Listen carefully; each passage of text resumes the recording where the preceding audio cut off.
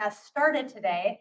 Um, members of the board, today is um, kind of significant for a couple of reasons. One is it's our first chance in almost two years to welcome people back in person. So it's great to have some faces beside me at the table and um, great to also have folks joining us online. So as you can tell, this is um, a little bit of an experiment, our first trial run of a hybrid meeting format. So thank you for our patience with technology. We're going to be doing our best throughout this meeting to make sure that everyone in the room, as well as everyone who's joining us online, has a great experience and can be able to see and hear everything that they need to today. So please um, chat with us or reach out to staff if you're having any difficulties, and we certainly welcome feedback after this meeting on how we could uh, improve this experience.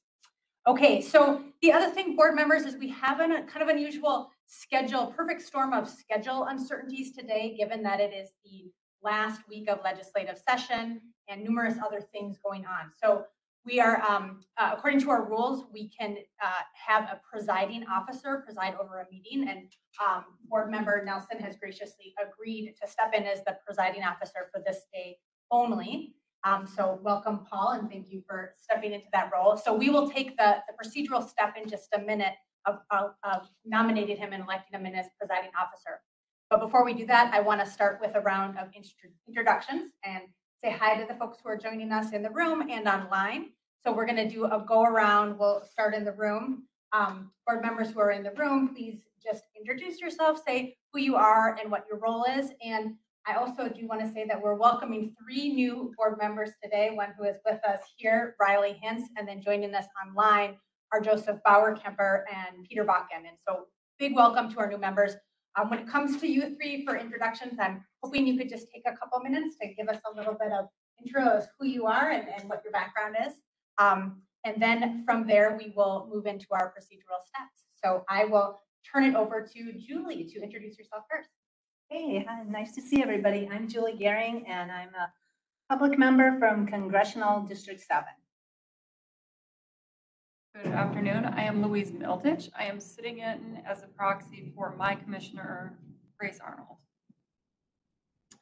Uh, Riley Hintz, uh, public board member, new public board member for District Two. Uh, I, my background's in public policy. Full-time, I'm the executive director of a nonprofit, the Lake Pepin Legacy Alliance, and uh, previously served a term on the Clean Water Council. So that's a bit of my background. Uh, Paul Nelson, I'm a public member representing Congressional District 6. Excellent. And now I'll cue the folks who are joining us online. So first up, we have um, Commissioner Robert Davis. If you could go on unmute and introduce yourself. Hello. Hi, it's Commissioner Alice Roberts Davis from the Department of Administration. Thank you. Um, and next, uh, Board Member Joseph Bauer-Kemper. Hi, greetings, friends. I'm Joseph Bauer-Kemper. Uh, as Katie mentioned, a new board member coming from the 8th District.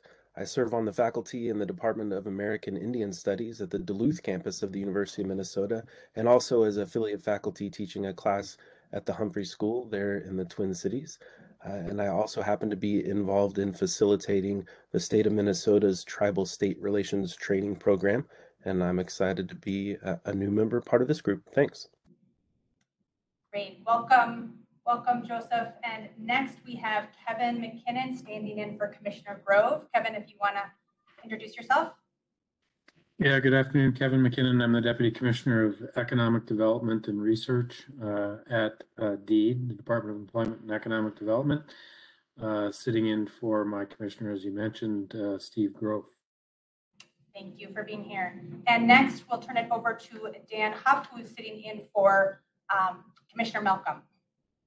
Good afternoon. Uh, I'm Dan Huff. I'm an assistant commissioner with the Minnesota Department of Health. Uh, I'm representing Commissioner Malcolm today. And unfortunately, I will have to leave early today for some other pressing. Thank you. Great. Thank you for being here. And um, again, I think we will have some some folks who have to leave early. It's a complicated day with legislative affairs going on. Um, next, I'll turn it over to Board Member Konar Steenberg. Hi, everybody. Mehmet Konar Steenberg, public member for Congressional District 5. Great. And then um, Commissioner uh, Daubenberger. Good afternoon, everyone. Sorry about my audio issues. Hopefully you can hear me. This is Nancy Daubenberger. I'm the interim commissioner for the Minnesota Department of Transportation. I also need to leave and our deputy commissioner, Kim Collins, will be jumping on when I uh, need to leave today. And welcome new members.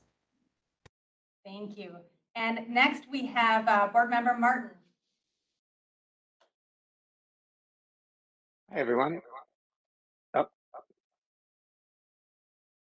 Can, we can hear you, Nick. We're just getting a little echo.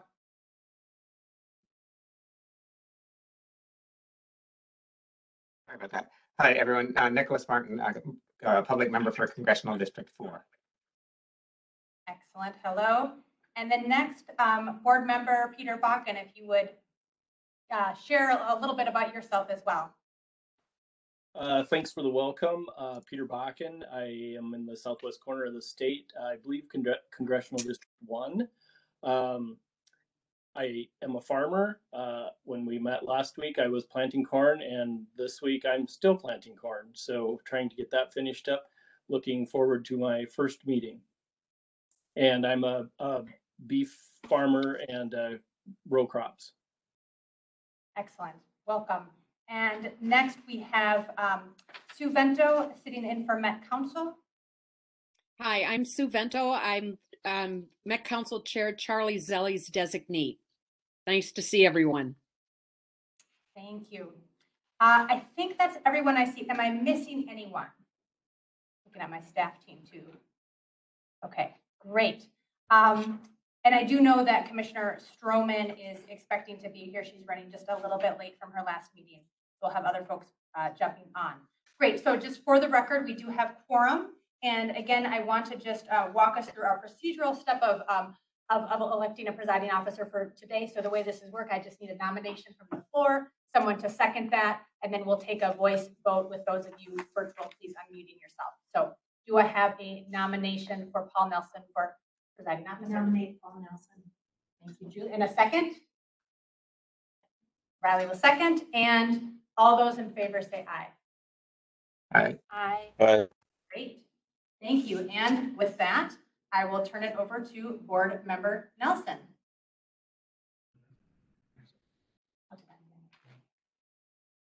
Uh, Well, thanks for, for putting up with me on the last minute notice.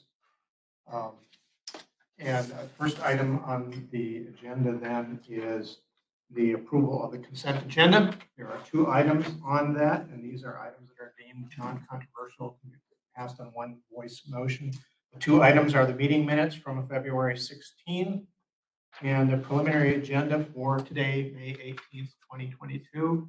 And for, for new members, I did look up whether you could vote on meeting minutes where you weren't in attendance. And yes, you can. There's nothing that prohibits people from voting on things they know nothing about. So, so with, with that, um, if you are joining uh, virtually, please unmute for this portion of it. And is there a motion to approve the consent agenda? I'll make that motion to approve. Motion by Gehring is a second.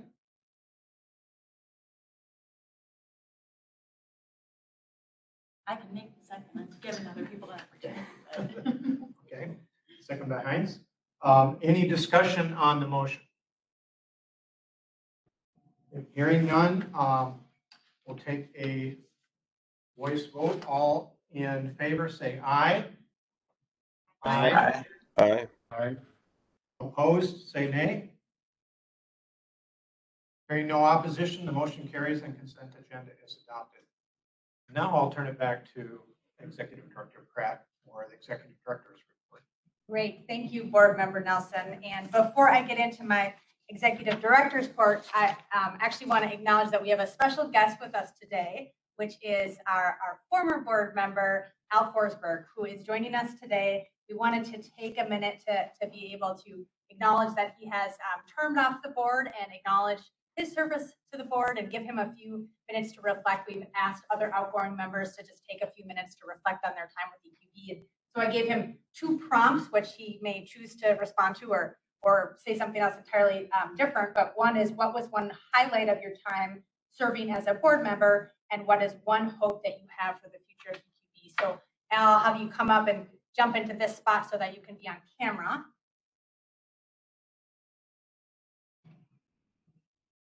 Well, thank you very much. Uh, My four years on the board has been an honor and a privilege and a pleasure to serve. It's been a real learning experience for me. Uh, My uh, criteria on whether a meeting was worth it or not was, did you learn something or did you make a difference? And I think in almost all meetings, that was the case. Uh, I tried to bring what I think was a unique perspective to the board uh, from greater Minnesota, first of all.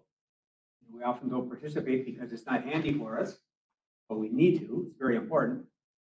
As a person who's actually, as a county engineer, done an EAW, done an EIS, and then almost all road and bridge projects are near water, or touch water. And so drawing numerous permits from the DNR and the PCA and BWSR and the Corps of Engineers uh, for even a simple, straightforward road safety project. And then constructed, done on and constructed projects on budget on schedule and with public support. Not hundred percent always, but with, with good public support, or I wouldn't have been reappointed, I guess. Uh, the highlights, well, I, I wasn't able to confine myself to one. I apologize for that. I mean, the highlights in my mind were the uh, meeting in Red Wing, when we had a good turnout of people. And it was surprising in that uh, some felt that we didn't need any more study, we needed to take action. And others felt we already have enough rules and regulations. There wasn't much support for doing a full generic EIS, at least as I read the, the crew that night. And then a strategic planning session we had, uh, where there was considerable vision shown by all the agencies that were there and the people that were there. That was great. And then the, uh, original EQB, uh, folks who developed the legislation and carried it through to establish and authorize EQB, made presentations to the board at one meeting. And uh, it was really interesting to see what their goals were when the EQB was established and how much authority we have under the legislature to do more than we're currently doing. Uh, Okay, so as far as future hopes for the EQB, I would hope that we, that we, well, I guess it still is my board. It's just as a citizen rather than as a board member. I would hope that we are an action board as well as a reaction board. We need to take input from the public, but we also need to take action. When John Linc Stine from the PCA left, he said, if you want to accomplish something, you got to have resolutions and vote. And I think that's a good measure, actually. I think we need to work on the broader public view and then follow up on those views the public brings us. And when, every time we've, we've taken some action here, I thought, okay, my little rural residential neighborhood, south of Mankato, we've got a retired electrical engineer, a lawn services and a health clerical person, uh, a heavy equipment operator, and then one household with a parole officer and a guard at the uh, St. Peter Security Hospital. I thought, okay, how would these folks react to it? They're the workers out there that we're not reaching as well as I think we should. And then always, when we look at revising our rules, we're adding time perhaps, we're adding cost to the project proposers. Is there a corresponding benefit? There isn't, you know, why are you doing it? We're a public agency, we, we should be working for the public health, safety, and welfare. So with that, uh, I'm disappointed to be leaving, but I'm very pleased to see uh, Peter coming on board as a working farmer out in western Minnesota. I want to thank uh, my fellow board members, both the public and the commissioners. I want to thank the EQB staff, who I know work very hard, and they're very patient working with people that have pretty pressing questions at times. And I want to thank the public that have brought issues to us. That's it. Thank you. Thank you so much, Al, and thank you for sharing those words of wisdom and really an honor to have you work with you on this board. And thank you so much for your service and to the other public members who have turned off recently, Brian Murdoch, Kristen Tolson. So those of you who are in, joining us virtually, Kristen is in the room today as well as a public participant, which is, which is wonderful. And Ben Yawakie, um, you all just bring so much to the board. And as I've said before, the doors are always welcome. Just because you've turned off doesn't mean this isn't still in your board, as you say now. So, um, welcome. Yeah, thank you. Thank you. Great. Okay, so I am just gonna uh, use the rest of my time to just walk you through the agenda and the logistics for today. Um, Today, there are four agenda items. First, we'll be hearing a brief update from Denise Wilson on the subcommittee for pilot um, program implementation. And then we'll also be hearing a brief update from um, staff member Faith Krogstead on the Emerging Environmental Leaders Program. Following that, staff member Eric Dahl will give you an overview of the Energy and Environment Report Card and discuss possible next steps on this project. And then following that, we'll have an update from the Interagency Pollinator Protection Team about their, about the um, action framework as well as an upcoming pollinator event in June. So you'll get to hear from our very wonderful EQB staff team today with a lot of great work that they've been doing. Um, Before the meeting, at the, at the end of the meeting, we'll have a public comment period if members of the public want to share anything um, that they've heard today on the agenda. Then also, after we adjourn the meeting, you are all welcome, members of the public, staff, board members, to join us up in the cafeteria, one floor up. We have some snacks and time to just socialize and, and celebrate the return to in-person meetings. So by all means, join us. And I apologize for those who are joining virtually that we can't send snacks your way, but uh, maybe you can run down from your office, wherever that might be. Okay, great. In terms of, uh, in terms of our hybrid meeting logistics, so as I've already mentioned, um, you know, we hope to make this a smooth uh, process for everyone and have a good experience for everyone. Um, I noted that the microphones are, are pretty sensitive, so just be aware of background noises. Um, let's see, uh, board members, there's an opportunity to ask questions and have discussion after each of the presentations today from staff.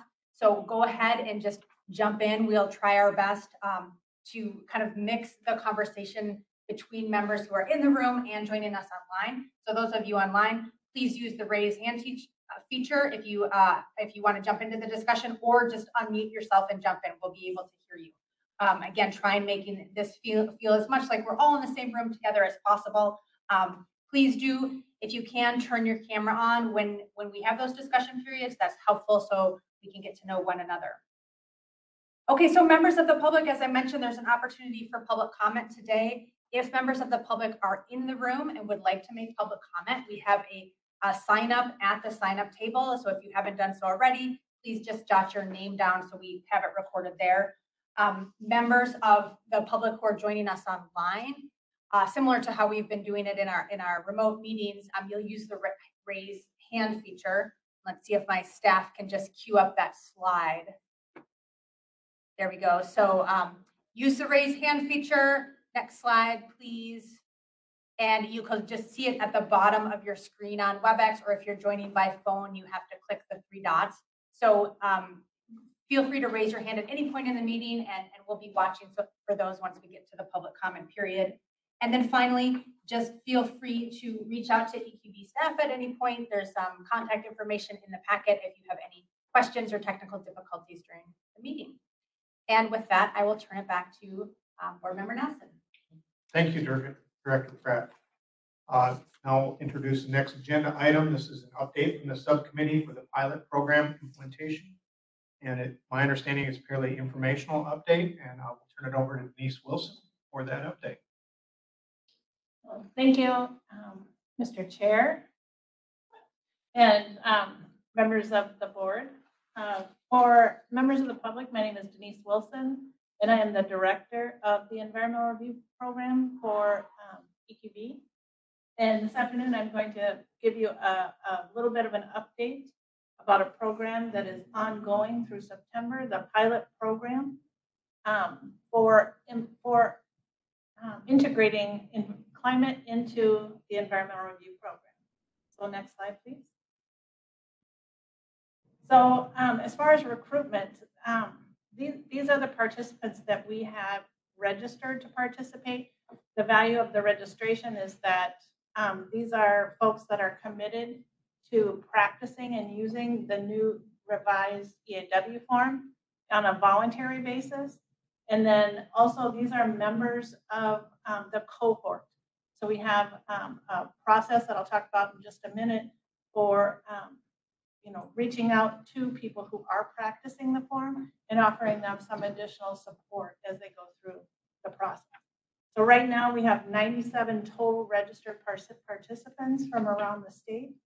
26 um, are local register, are responsible governmental units. Those are, our governmental units that are tasked with implementing the environmental review program and preparing environmental documents.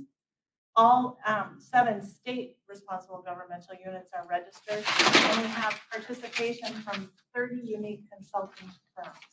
And so there's, there's often multiple participants from each of these organizations, which is why we have 97 participants.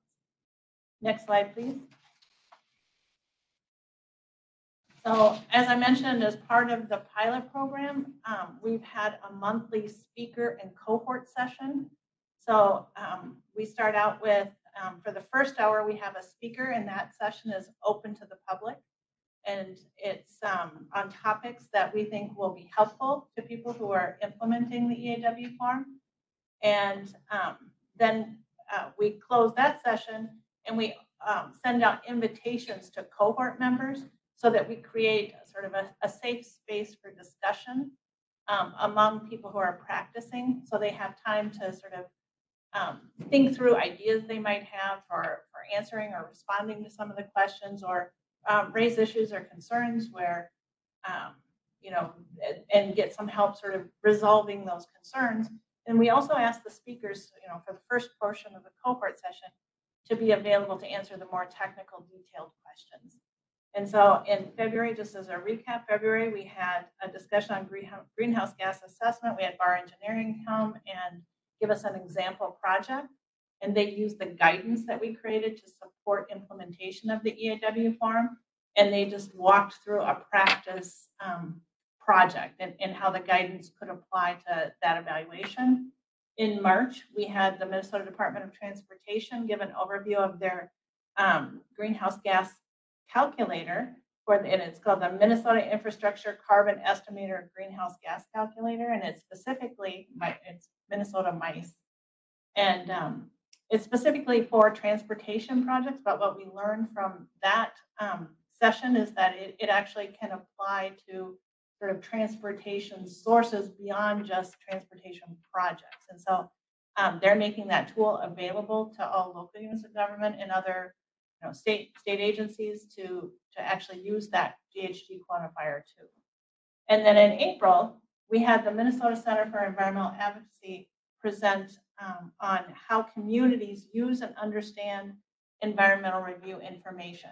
So as a consumer of the information, they gave us their perspective on, on what they felt, um, what was usable information in, for these responsible governmental units to think about in how they frame their responses to the EAW form. Um, so next slide, please. So coming up, we have in May, the um, Climate Tools for Adaptation and Planning in Minnesota. And so Louise Miltich from the Department of Commerce will um, talk through a, a recent project that they did and included the climate information in that environmental assessment. And then Dr. Kenneth Blumenfeld from a senior climatologist from the Department of Natural Resource will sort of show some climate tools that will be helpful as um, we talk through the lessons learned from uh, the Department of Commerce and the evaluation that they prepared. And so we, we hope that's an opportunity to sort of identify where there are um, really effective tools and maybe some gaps in information and, and how to sort of kind of relate the data to the information and providing that information in a meaningful and useful way. So we're excited about that session, and that's Monday, May 23rd. Again, the speaker session open to the public. Anyone can join. The link is on our website. And then uh, for the cohort meeting, that'll begin at 2 p.m. So then on Thursday, June 23rd, we'll have um, a panel of experienced legal practitioners. We have three attorneys that are going to offer sort of their perspective on considerations for developing an effective administrative record. I think this is, we've received feedback from especially some of the local units of government, often it's challenging to understand what information is necessary and how much information to include in the environmental assessments. And um, and, and often the, that, the answer to that question is what information is necessary for that administrative um, record. And so we'll have a previous EQB attorney um, giving us an historic perspective of past legal um, cases. Then we'll have someone from the Attorney General's office talk about more recent um, cases that have been challenged based on climate information. And we'll have a state RGU attorney talk about um, things that she considers in helping their staff prepare these administrative records for, for making effective decisions. So next slide, please. So here are the projects that are available for review right now that are part of the pilot program. We've had seven EAWs using the, the, the draft revised EAW form. Um, if you would like to go and review these projects, they, we have, um, on our website, you can go to the EQB monitor. Um, it's a drop-down box under the environmental review tab, and you can look, um, for the link to the archives. And then you can click on the dates of publication, and then you'll be able to evaluate or to um, review those EAWs. Some may or may not be still available for public comment, but we are tracking how many projects go through and, and who uses those forms. Um, Next slide, please. Oh, um, before we go on to, can we just go back? One, one more thing to add is when you're looking through the EQB monitor, the projects that use the draft revised EAW form are noted with a star next to the project title. So next slide, please. So after you go through and review the EAW form, and you, if you don't feel compelled to, to submit comments, those, those um, comments should be directed on those projects to that responsible governmental unit. However, if you review the information and you'd like to offer us some feedback on your experience, what you thought of the information, you can go to the, um, the envir, the climate change and environmental review webpage. And there's a link for you to take a survey to provide feedback on your experience. Um, for, uh, just from reviewing those projects. Next slide, please. In addition to that sort of general opportunity um, to take the survey, we are looking for targeted feedback opportunities too. So once we receive a record of decision that, that is required to be published in the EQB monitor, we are emailing surveys to the responsible governmental unit, the project proposer, and the technical consultant, if they're identified, and asking them to provide feedback from their experience. In addition, we're sending um, a survey to the, the responsible governmental unit and asking them to forward that survey to anyone that commented on the EAW. So we get a a perspective of, of someone who reviewed the information but may not have submitted it, but we also have a very targeted um, ask for people who went through the process and did submit a comment. And so um, that way we feel like we'll have a robust set of information to make a determination and an observation on, um, you know, how, what their experience was in using the draft revised form. Next slide, please. So other ways to stay informed about the pilot program are to visit the EQB webpage that I just mentioned for environmental review and climate. On there, you'll also find the opportunity to sign up for email updates through GovDelivery, um, just for general updates. And also, um, all of our notices, in addition to being sent out through GovDelivery, are posted in the EQB monitor. So those um, updates would include, you know, the next, the time and topic for the speaker session, the cohort session, and then um, upcoming um, board meetings and subcommittee meetings. And also, I will mention too that all of the um, speaker sessions were recorded, and those are also available on the website. So if you want to go back and listen to past speaker sessions, you can do that as well. Um, next slide, please. So the next steps in June, as I mentioned, we have um, the speaker session and the cohort meeting, as well as July. In August, we're hoping to, to reconvene the subcommittee for pilot program implementation and talk through the framework for reporting feedback. So we'll be getting a lot of responses from the questions that the SPPI members helped develop. And so they're going to be, um, you know, we'll, we'll be getting this feedback and it'll be helpful to understand, you know, what, what's the best framework for providing that information back to the, the Environmental Review Implementation Subcommittee and subsequent board for their decision making. And then, um, so after we have the framework in September, the pilot program ends at the end of September. We'll be compiling that information, using that framework, and then we'll be presenting that in October to the Environmental um, Review Implementation Subcommittee, asking them to consider the feedback and also identify if changes should be made to the EAW form ahead of presenting it to the board in December for a final decision on that form. And we'll also be taking some uh, feedback on the guidance document too. So we'll, we'll better understand how improvements could be made to that guidance. That's next, next slide. And so if you have any questions, please feel free to reach out to me. Here's my email address and, and phone number. Thank you, Denise. Um, Before we move on to questions from, from the board, I'd like to recognize that Commissioner Strommen, Commissioner Kessler, and Vice Chair Jerry Van Amburg have joined us. And with that, we'll we'll take questions. Those uh, board members in, in the room, you can just raise your hand. Those online, you can virtually raise your hand. And staff will be watching for that. So if there are any questions for Denise? I have a question, Mr. Chair.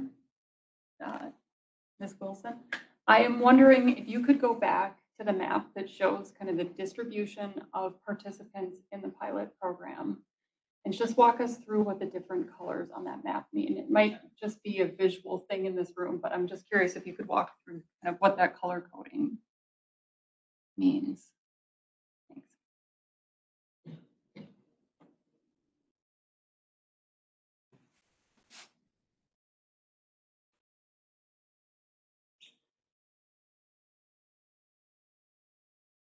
Okay, so, um, thank you, Mr. Chair, uh, Board Member Miltich. So, um, here we have the, the yellow are local responsible governmental units. That's where someone from a, a, a local city, township, uh, you know, watershed district, anyone who by rule could act from a local perspective as a responsible governmental unit.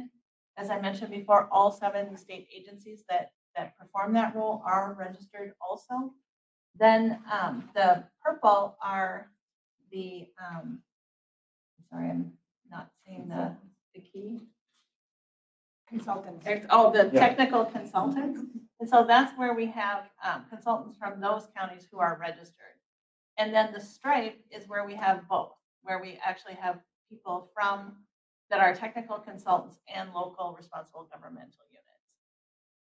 And the goal was to get as, as broad a perspective from people implementing this form as possible from around the state. And I- think this is an indicator that, um, should they have an EAW, um, during the pilot program, not all members of the, the, um, pilot program would necessarily have an EAW, but should they have them, um, they would, um, have the, they would represent that perspective, but they're also participating in the cohort. So as we sort of go through lessons learned and understanding, they also have the opportunity to contribute to that discussion.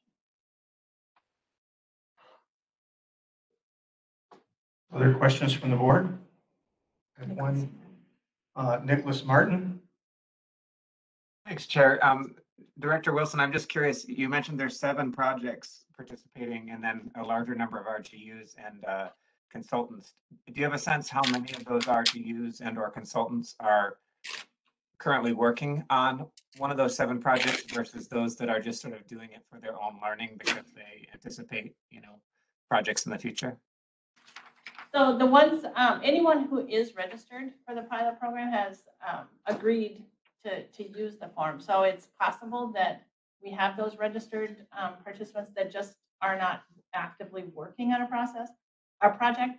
I, I don't have a sense. We, we have, during the cohort meetings, we have had a discussion and asked for people to volunteer and let us know if they have a project underway.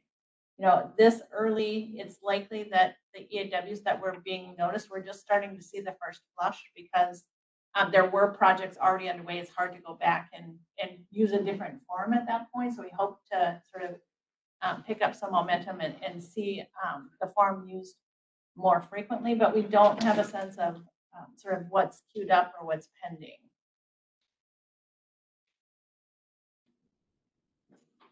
Any other questions from the board? Otherwise, I, I do have one myself. I'll wait see if you wait. Um, my so far, you've been successful at scheduling all the speakers series when I've had other obligations, but, it, but it, and is continuing. Um, but my understanding is you have recorded those and have those online for those of us who have- missed or for new members who want to go back and, and use some of those. Is that correct? That's correct, Mr. Chair. And they'll- they're on the, um, if you go to our website, under the environmental review tab, there's, um, some drop-down tabs and you go to climate and environmental review. Um, you can go and just, um, open those up and, and see the recording. Thank you. Any other questions? Otherwise, we'll move on the agenda. With that, then, a next item is a presentation by Faith Krogstad uh, regarding the Emerging Environmental Leaders Program. And again, I think this is largely informational, but we'll have some discussion.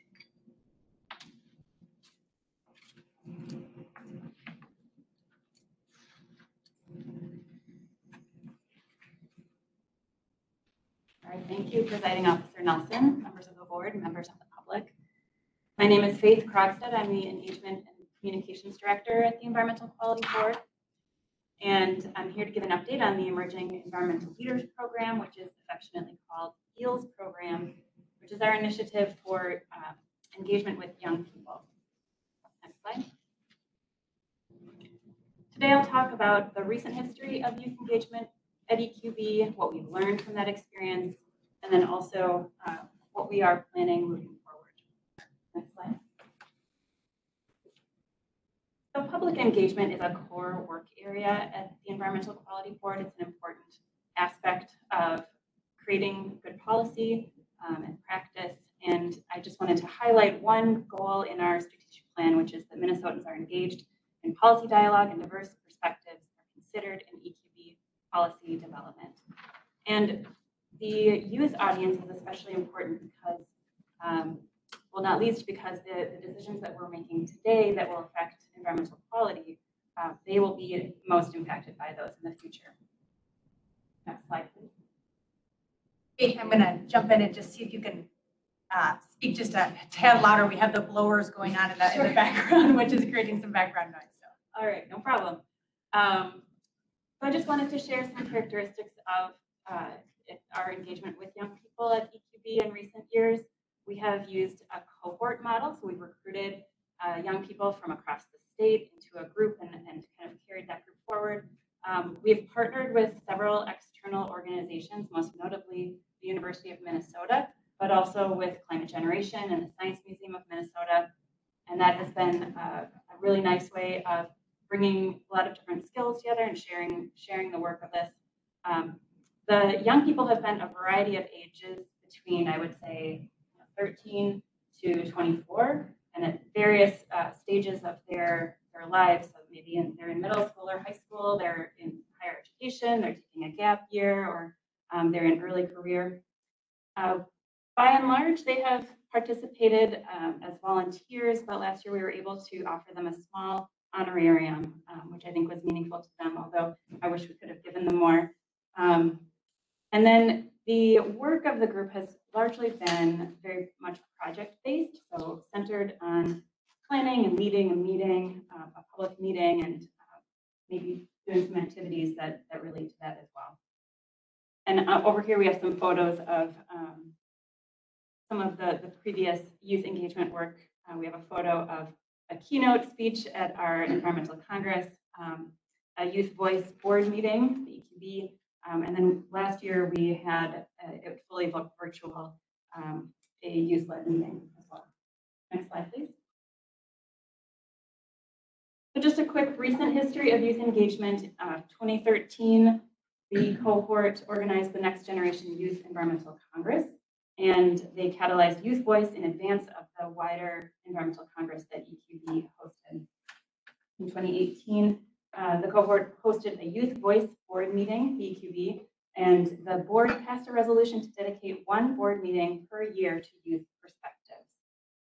In 2019, they contributed to the Environmental Congress event in Mankato uh, where they organized the the keynote and delivered the keynote speech, hosted a breakout session, and organized a student postcard campaign where they uh, designed the, the postcards and um, got them out to thousands of students across the state to collect ideas on climate action from young people. We uh, had a delay in, in 2020 due to the pandemic, um, but we were back at it in 2021, where the cohort led the Young Leaders Talk Climate joint meeting of the EQB and the Climate Change Subcabinet. Um, at that meeting, the, the young people shared their stories, their climate stories, how climate is affecting them in their realities and, and um, how they viewed their futures. And then they also um, wanted to have a discussion with the board about ways that the board could and the subcabinet could uh, deepen their youth engagement efforts. Next slide, please. So what have we learned through through this? Many things. Um, we there are many benefits to engaging with youth. They exhibit powerful leadership. Um, they're doing really amazing, great work around the state. They bring us fresh perspectives and ideas to our work. Um, we learn a lot working with with young people and how to communicate and engage with them. Um, they connect us to new audiences in ways that would be difficult for us to do. Um, and then, you know, we hope that they also benefit from the experience as well with uh, skill development and leadership experiences. Uh, we've also had uh, a number of challenges. Youth work is, uh, youth development work is really challenging. Um, we have a small staff at the EQB, and you know, if we want to give the kind of time and attention to the um, engagement of young people, it, it is a challenge because our work at the EQB is, is dynamic and things can come at us unexpectedly, and we're, we're pulled in a lot of directions. Um, and then just logistically, it you know, there are a number of challenges as far as, you know, just getting stipends or honoraria out the door to them. Um, working with minors, you know, do we have all the right policies in place and partnerships in order to make that work? Um, and then as far as scheduling um, meetings, et cetera, was, that was hard too. Um, another learning curve that was voiced actually in the 2021 meeting was just that state government is really hard to figure out. So there's a big learning curve uh, there. And how do you how do you understand how state government works and how do you um, have influence within that space? And the cohort model kind of limited the amount of time that we had to really dig into that. Um, and just lastly, that that agency and influence, the how much um, influence could they really have in that amount of time? So next slide, please. So we we got a lot of feedback from the participants in our um, EELS program and one big thing I wanted to highlight that came through loud and clear was that they really want to see the EQB um, have a more formal, systematic, and sustained way of working with youth. Um, and so that's something that we've really been thinking about a lot. And uh, I, you know, the, the EELS generated ideas at the board meeting, um, the joint meeting back in March of last year. And um, there was a, a good brainstorm at the time um, go to the next slide. We had, um, I've been working with the Minnesota Youth Council. They approached us serendipitously to say they really were wondering if, if um, they could have uh, create some connections between the EQB and the Minnesota Youth Council. Um, so actually one of the, the youth members approached us. Uh, so just a little bit about the Minnesota Youth Council. It's a collaborative of youth leaders who are amplifying youth voice and agency within the state of Minnesota. There are 36 members, four per congressional district, four at-large members. They're in grades 8 through 12. They act as a voice for youth to the Minnesota legislature and the governor. They're actually the only legislatively mandated youth advisory council um, in the country that advises the, the, legislature. So their, their work really encompasses um, providing feedback to legislative initiatives that relate to youth. They also put forward their own initiatives. And then they also partner with organizations um, to represent youth voice and uh, carry out some hands-on projects. Next slide, please. So I have been meeting with this group. They have an environmental committee and they're looking for um, an organization to partner with. And we, we've talked about some ideas for working together um, that we would bring to the board for your consideration. And one is really related to policy, similar to what they do at the legislature. Um, When EQB has policy work, they could be providing feedback, they could be participating in uh, those discussions, um, bringing new issues forward, et cetera. They could have a more formal uh, role at the board, uh, maybe a liaison role where somebody would be, would have a few minutes on the agenda at each meeting to share what they're talking about at the Minnesota Youth Council. Um, And then they could also bring back what they're hearing from the Environmental Quality Board to the Youth Council to inform their work there. Um, And then lastly, engagement, uh, working on more of those kind of hands-on projects to raise awareness about environmental issues among youth and increase youth voice in those issues. Um, And one of, in, in the meeting, there was one member who got really excited about environmental review and, you know, I really, he really wanted um, people to understand what environmental review was and, and uh, the process and how people can get involved. Um, and, and so how do you share that with um, young audiences? So the next step is to, as I mentioned, um, bring forward a proposal to the board. I'm on their schedule, so I don't have a timeline for you. Um, but you know, the hope is that we could um, bring something forward for your consideration uh, within this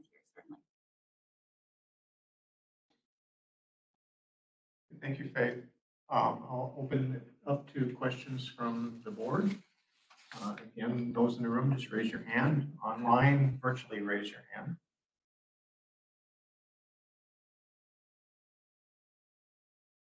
Commissioner Strom? Thank you, Mr. Chair. Um, Faith, thank you for um, the recap of how um, our youth engagement has worked and um, for your work with the Minnesota Youth Council to sort of envision how um, we can use an existing structure and group and um, get the benefit. And I don't really have any questions. Um, I think, you know, your, the direction that you're exploring with them seems um, like of great benefit to both um, EQB and um, the Minnesota Youth Council. I just continue to believe, as I've engaged with the youth uh, in our youth development programs at DNR and um, some of the work that we're doing to try to expand youth voices and the work that we're doing, um, it is so important. And um, I find it some of the most inspiring work that we do because they ask different kinds of questions than we typically hear from other constituents that attend our meetings. And they provide um, perspectives that are a little bit different. They're super constructive, um, they're super hopeful, and, and they want to engage. And um, so I, I'm really excited about that. And I would also just say, you know, I, I don't want to make this bigger than it is, but if there's an opportunity to, right, to tie um, those conversations not only from EQB, but to the member agencies of EQB and some of the work we're doing, that might be something else, you know, we would be interested in exploring. Other questions? Yes. Um, yeah, I, I'm just curious, is there a cohort within the youth council that's specifically interested in environmental issues? Or like, what's, yeah, that's the question.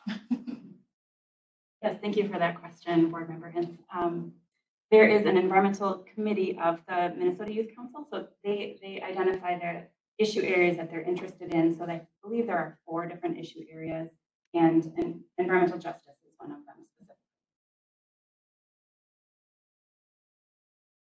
We have a question online. Uh, Sue Vento? Uh, thank you, Mr. Chair. Um, I'm curious as to whether or not there might be a possibility at some point to compile a, a list of, of organizations that have a youth emphasis related to climate and the environment. Um, I serve on a nonprofit board that um, in the last few years has initiated a, a youth focus and really is going gangbusters. And I think there might be a great opportunity to create a kind of a collaborative network and, and help bring those groups together. Um, I think the question around the logistics uh, from a um, uh, K-12 issue as a former educator, there are lots of issues there that we need to really think through. Um, whether we formally get involved or, or informally get involved. The other thing that I really, really appreciated was the EEL conversation with the board last year. And I hope we keep that that post-secondary emphasis. Um, one of the eels from last year's meeting uh, lives in my Met Council district, and we've met for coffee a couple of times, and he's continues to be quite an activist. And this program is just having, um, I think, a deep impact on a lot of young people, and it it makes me feel better having just celebrated a, a birthday and being reminded that I'm getting older. So, um, thank you for doing this program, and um, if if you're ever looking for um, people who want to be a part of a conversation to help further this, I'd be happy to to do that. Uh, both as a Met Council member, but also as a former educator and as someone who's involved in an environmental nonprofit. Thank you. Thank you, Councilmember Vento. Okay. I, I do have uh, a question or a comment too. I, I echo Commissioner Strommen's words about uh, this being important and uh, mentoring involved.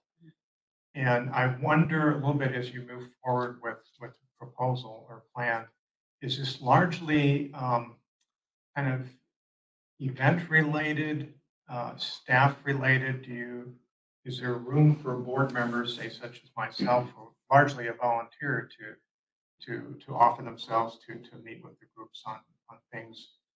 Um, Or is it coming to the board meetings, participating in board meetings or separate or wide open, all of the above? What, any, you get your crystal ball out, I guess. Um, thank you for that question, Presiding Officer Nelson. Um, the, the group has, just, you know, they, they shared some previous experiences that they had had partnering with other organizations. And I think, um, you know, it's important to them that, that they are crafting something that will really serve their needs. Um, and so I want to be very careful about, um, you know, how that, that whatever we create, you know, we are honoring their, um, their work and also figuring out, you know, what will also serve the EQB's needs. And so that will be a little bit of a dance. And I don't know that I can predict, um, what they'll want to do. Um, I think it will depend on the specific members of the group and who really wants to lean in um, to this and, and, you know, it will be driven by their interests. We'll have to see. I might just chime in on one point. One thing that, um, you know, Faith didn't mention, um, in, in the presentation is that in some of these past years, we've had, had an opportunity for, um, for small group meetings between board members and some of the cohort members or one-on-one or small group meetings. And, and the, the, um, the youth involved in the cohorts have overwhelmingly loved that opportunity, loved that experience. And, um, so, you know, while it can be a scheduling challenge, I don't see any reason why we couldn't have at least that level of involvement. It seemed like a really positive thing. And, and for our board members as well, to kind of get to know a few individuals and have those conversations with them. So I think, yeah, there's, there's opportunities. If I may add to that, I just rewatched the meeting from um, last year in May, and it was, it was one year ago, actually, now that I think about it. Um, And one of the, the two ideas that that group put forward to the board was uh, the idea of youth mentors, that um, board members uh, might want to consider having a youth mentor to, to talk to and, and get um, you know, ideas from and bounce, bounce ideas off of and, and whatnot. So um, I think there would be, we certainly have a, a pool of, of EEL alumni uh, that would be interested in that um, if the Minnesota Youth Council members would, you know, decide to go in a different direction. Unless there are any other questions, we'll move on to the next agenda item. I see it. Hand just went up. One more. Looks like Gerald Van Amburg.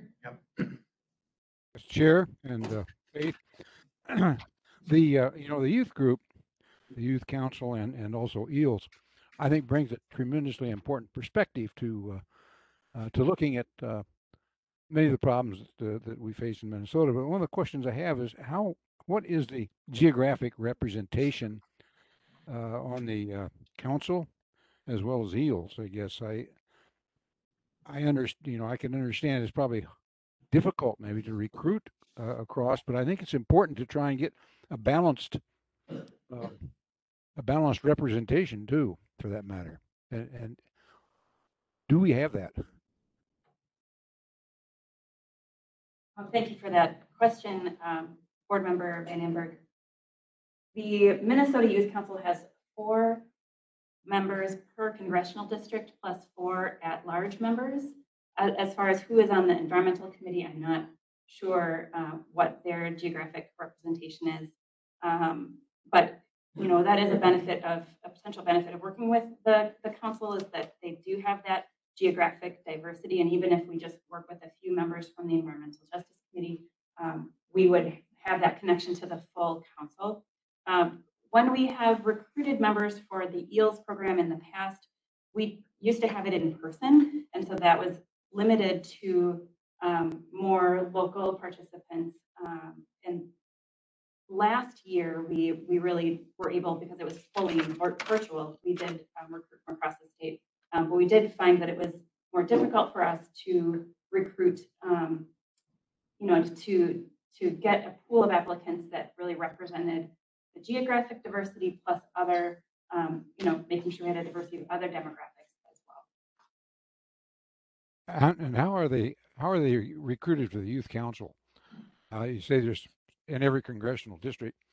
Um, do they have to apply or is this, uh, how how do they go about getting people on the council? Youth? I know that they have to apply and I believe they are appointed, but I'm not, I'm not sure about that actually. So I'll, I'll retract that. I know that they have to apply. Um, but I, I can find out more. The, the organization that runs that program, uh, the, the, the council is the Alliance with Youth. So I could certainly find out more from them how members are selected. Okay, thank you. Thank you, Faith. Board Member Nelson, before we go on, just um, a quick uh, logistics note for our board members is we're getting a request that if you can please just introduce yourself again when you speak, um, both for people online and in person. It just helps people follow along and, and learn who's who. So we'll all do our best to remember to introduce ourselves. Thank you. Next on the agenda is an update from Eric Ball on the energy and report card. And again, a lot of this is informational, but Eric, I understand you are looking for some specific feedback from us. Yes, thank you uh, for the provide presiding officer Nelson, excuse me. I'm Eric uh, Cedarleaf Dahl, and I'm here to give an update on the Environment and Energy Report Card as well as some background on it. So I'll move through quite a bit here and uh, if you have questions, let me know. Uh, Next slide, please. So here's the outline for today. I'll go through the purpose and background of the Environment and Energy Report Card, and then I'll talk about some lessons learned and challenges around the Environment and Energy Report Card, as well as the 2023. And The shorthand we use is the E and E report card. Uh, options there, and then I really would love to hear ideas and have a discussion with the board and see if you have any questions, and then talk about next steps. Next slide, please. So the Environment and Energy, Energy Report Card started in uh, 2011 with an executive order from Governor Dayton. There was a directed for the board to uh, prepare an Environment and Energy Report Card that identifies metrics which the state of Minnesota can use to measure its performance and progress protecting valuable air, water, and land resources. And with help of staff from several state agencies, the Environment and Energy Report Card was prepared, prepared to provide a snapshot of Minnesota's environment, um, you know, providing valuable information to the public and policymakers. And the report focuses on five key areas in Minnesota's environment, climate, energy, air, water, and land. The E and E report is a cross agency and cross media, meaning each of those sections that is unique and useful as a high level look at how we're doing as a whole on environment and energy. Next slide, please. So, uh, as I mentioned, it started in 2011, and in 2012, EQB put together the first iteration of the Environment and Energy Report Card. You can see that here on my screen. It's on the left, the white version. Um, with five sections, air, energy, climate, land, and water. Uh, the sections were developed by the board in 2012 via numerous outreach activities and board uh, discussions. The report card was also completed in 2017 and 2019. You can see those here on the screen and they're available at the desk over there. And I included the 2019 version in the packet. In 2016, in preparation for the 2017 E&E report card, EQB and interagency staff compiled all available data sources and hosted an interagency meeting in which the EQB member agencies and public members went through a results-based accountability exercise to determine the metrics for each section of the report. And the board landed on three metrics for each section, and I'll go through those. Uh, but in, in 2018 and 2019, EQB updated and refined the report card using the same metrics and criteria. So next. So a little background on the results-based accountability or RBA. Uh, as I mentioned, we utilized this to come up with the metrics for the report card. Uh, so results-based accountability, if you're familiar, is a framework that uses data to explore accountability at the population and program so we have three components of that. That's communication power, which is basically how much power does a metric have to effectively communicate an issue. Uh, proxy power is how well does the metric represent the broader picture of the subject area. And then data power, how comprehensive is the available data? How long has it been collected and how often will it be collected in the future? And so in 2012, the board went through a whole day-long process looking at all those components weighing them and landed on the metrics we currently see in the 2017 and 2019 report. So next slide. please. So here's a, a image of the report card from 2019 that's also in your packets. Uh, as I mentioned, the metrics were chosen through an extensive interagency dialogue and represent a collaborative effort to comprehensively evaluate Minnesota's environment and energy uh, kind of report card picture. Um, the criteria are based on environmental and social data and were chosen to help tell this larger story about trends, challenges, and opportunities for action. Uh, in many cases, the metrics are tied to official state or federal goals. Um, the metric criteria details are in your packet on page 29 and 33. Um, and these metrics were both used in both 27 and 29. The next page. So here's just a picture of the report card. Uh, we've got green, yellow, and red at the top there. So, and you'll see that in the next couple slides that I'll go through. And if you're looking in your packet or at the actual report card, you can kind of see each metric has a score and then a trend. Um, and so green represents a good current status, or in other words, that performance is ahead of the desired progress towards state or national goals or established benchmarks. Yellow represents an okay status, or in other words, performance nearly meets public expectations or desired progress towards state or national goals. And red means a poor status and that we're well behind expectations or desired progress toward those state and or federal goals or industry or agency benchmarks. And then each goal or each metric, sorry, has also the an arrow that shows kind of the trend. So an up arrow means things are getting better. Yellow means or flat means things are about the same, and red means things are getting worse. And in your packets there, there's a whole and as well as on the EQB website, there's a whole bunch of criteria that agency technical experts went through a process to determine, you know, how do we determine when something's good, you know, okay or poor, and then how do we determine the trend? And that's all available in your packets there. Um, so next slide. So now I'm just going to briefly go through each of the sections. Um, uh, in- the past, when EQB staff has presented the, the E and E report, we've gone into each section and each metric quite a bit more uh, with technical experts in the room to answer any sort of really uh, in the weeds or specific questions. But today I'm just going to keep it pretty high level because I'd rather get to some of the options EQB staff sees going forward, as well as hear from the board on ideas um, on where we should head with this project. Um, so this is the climate section, which includes metrics on heat and rainfall, greenhouse gas emissions, and climate change and wildlife. And this data was produced and provided by the PCA and the DNR. Um, And you can see on here, this is how it's laid out in the report. It has the status and the trend. And then, uh, you know, in 2019, we tried, we updated it to give kind of a little whip on um, where it's headed in that trend or status. See that like for heat and rainfall, moving the needle on climate change takes global coordination. Uh, So next slide, we've got energy. And that is, focuses on three metrics. We've got renewable energy, household energy use, and transportation fuel. And this data was provided by the uh, Commerce and MnDOT. You can see what this looks like, or if you want to go into more detail, it's just in your packet. Next up, we have air. If you can go to the next slide.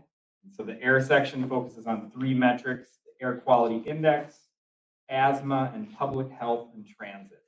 Um, we this data was provided by the Pollution Control Agency, the Department of Health, MnDOT, and Met Council. So, next slide, please. I'm just kind of moving through these quickly, and if you, ha- you have any questions or want to discuss them later, you can.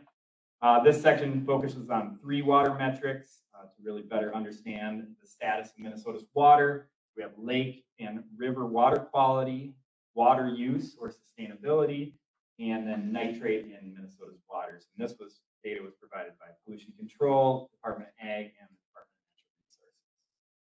Okay, and then next slide, please. The next slide is the land section, and so this has three metrics uh, that focus on pheasants and bird populations, land conversion, or in this case, we use colloquial uh, sprawl, and then recycling. And this was provided by the DNR, Met Council, Department of Ag. Okay, so next slide, please. So over the uh, time that I've worked on the Environment and Energy Report Card, I participated in getting together the 2017 and the 2019 version. Uh, There's been lessons learned and some challenges as we have developed the report card. So one of the challenges is just that it's hard to get into. Um, There's many state reports, many more niche reports on specific topics. Um, and we print about 1,500 copies of the report, and you know we run out of those or come close to running out of them. Uh, so they there's kind of that, and it's also a limited kind of view on on, on how long it, it, the the metrics or the current status are. Um, it's difficult to determine how much it's utilized. Um, you know, anecdotally, uh, every time EQB staff has presented the report card, we've received positive feedback, comments that people use it for informing school groups and community groups, and it's a really great, like simple overview, and that was really the goal of the report card, that was to have it plain language and something that any Minnesotan could look at and kind of say, here's where we're headed, here's where we are with environment, here's energy, and here's where we're headed. Um, it was used for the 2019 Environmental Congress, a, a general overview document, and sessions were held on it. Um, we presented to school groups and the U of M and community groups, agencies.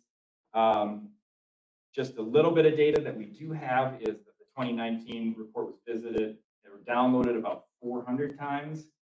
And the 2017 was report was visited or downloaded about 20, 2,100 times. Um, and again, about 1,500 copies of each of those, and we're just about out of them. I think we have a box left of each of those. Um, and so then another lessons learned or challenges is the staff time. It's a lot of staff time that can be spent on updating the report card. Um, for the initial creation of the report card, EQB staff and interagency staff spent a couple months gathering all the interagency data and then held a RBA day-long workshop with the board to determine metrics. For the development of the 27, the development of the 2017 version was pretty intensive for EQB and interagency staff uh, due to design, criteria establishment, and narrative development. Uh, the 2019 version was considerably less EQB and interagency staff time because we just really needed to get the newest data and update the narrative. Um, but we didn't do the full, like looking at what were the new, what could be new metrics, what should the criteria be. Uh, but we did spend a lot of time with design in that 2019 version. We updated the design and tried to make it more uh, plain language, more usable for any Minnesotan picked it up.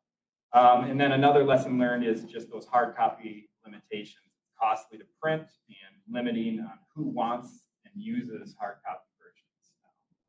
So that's just a couple lessons learned. I could probably talk to you about it all day, uh, but I'll move on to the next slide. So uh, staff has had a lot of discussions on what different options we have for the 2023 report card.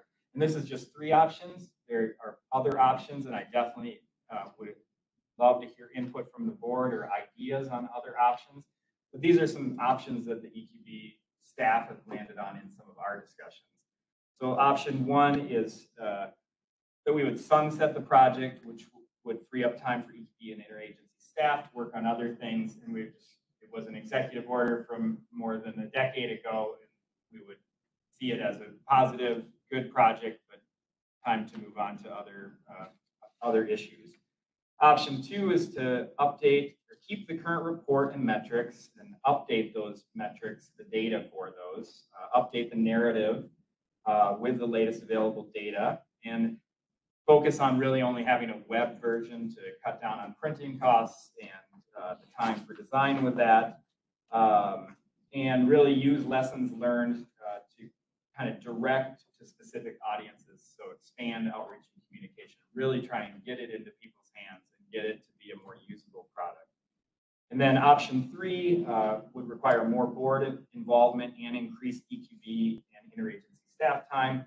And this option would really focus on an evaluation of current metrics and kind of a recalibration and refocus. So we would want to look at developing new goals, possibly new metrics and criteria, um, utilize the RBA or similar process to come up with those metrics. Um, and this operation would uh, kind of conduct a whole full redesign and possible print version. But again, each, any of these are change, interchangeable.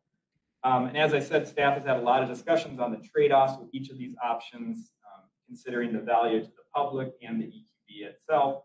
Uh, we can move to the next slide.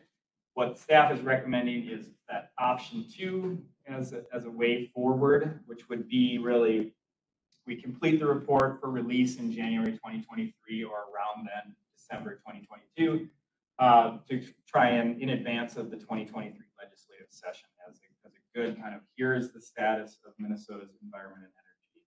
Uh, use a similar design to the 2019 version with one metric per page, but really only do it as a web version that could be printable. So if you're interested in the energy section, you can print out three pages and do an exercise in your community or at school or in a, in a group that you're presenting to, because we did hear a lot of feedback that people use it in those settings. Um, we would update the current metrics with the latest data. We'd update the status and trend uh, based on the new data and using the current criteria. Uh, update section narratives, update graphics. We would look to link the overarching narrative to the MEPA 50th anniversary, which is next year. And so kind of help maybe frame the environment and energy report card more on where we've been in the last 50 years with MEPA. But we didn't have I don't think we're thinking about new metrics just for, you know, what it was like 50 years ago versus now. But again, this is up to discussion and I would welcome that. Um, and so again, also focus more on communication and outreach to get into the hands of Minnesotans uh, and collect more data this time to see how we can, if the report card is used and who's using it and how. So try and come up with some metrics related to that or better tracking. And with that, I'll move to the next slide, which is just my kind of discussion point, which is I'd welcome some board feedback on options for the environment and energy report card. Um, go to the next slide. Um, just to remind you, that's the option that staff is kind of recommending. Again, today is not a decision item, it's just a discussion. Um, and I welcome any questions or feedback. Go ahead. Thank you. This is Chair Nelson, and again, I will uh, go to the board for questions. Raise your hand if you're in the room. Virtually do it if you're online. And I see a question from public member Prince. Uh, thanks for the overview. I have so many thoughts. so I'll, I'll try and condense it. Um, I guess the first just basic question, when you talk about the trends, um, and sorry if I missed it, but are the trends an indication from the last report card or 10 years, or are they varying based on the different metrics? They, uh, thank you, board member Hintz for the question, Chair Nelson. Um, uh, so they're based on the action on each metric. And they're ex- in- explained in this criteria document. So each one uh, relates uh, to different trends. So For different time periods? Yes, yeah. Yeah, so like, for instance, water use is about the ten-year trend and the three-year rolling average. So they each are, each are different. Um, and then just, I guess my general comment is, looking through the 2019 version, that seems really helpful for getting a broad overview as a public board member coming into this new. Um, I have some experience trying to find a lot of dispersed data related to water and condense it into something usable, both for my organization, for the public, for talking with decision makers, and it's very difficult to get that in a comprehensive way. Um, so I support the, I mean, I know there's no decision, but just generally support the second option of like, I think it's helpful to have something like this updated on a regular basis as a new board member and for those who would be interested in seeing that broad overview. Um, But, you know, maybe tailoring it to where it's going to be really useful within different organizations, schools, um, rather than trying to just, you know, send it out to every household or not that you guys are doing that, but, you know, being more tailored in the outreach.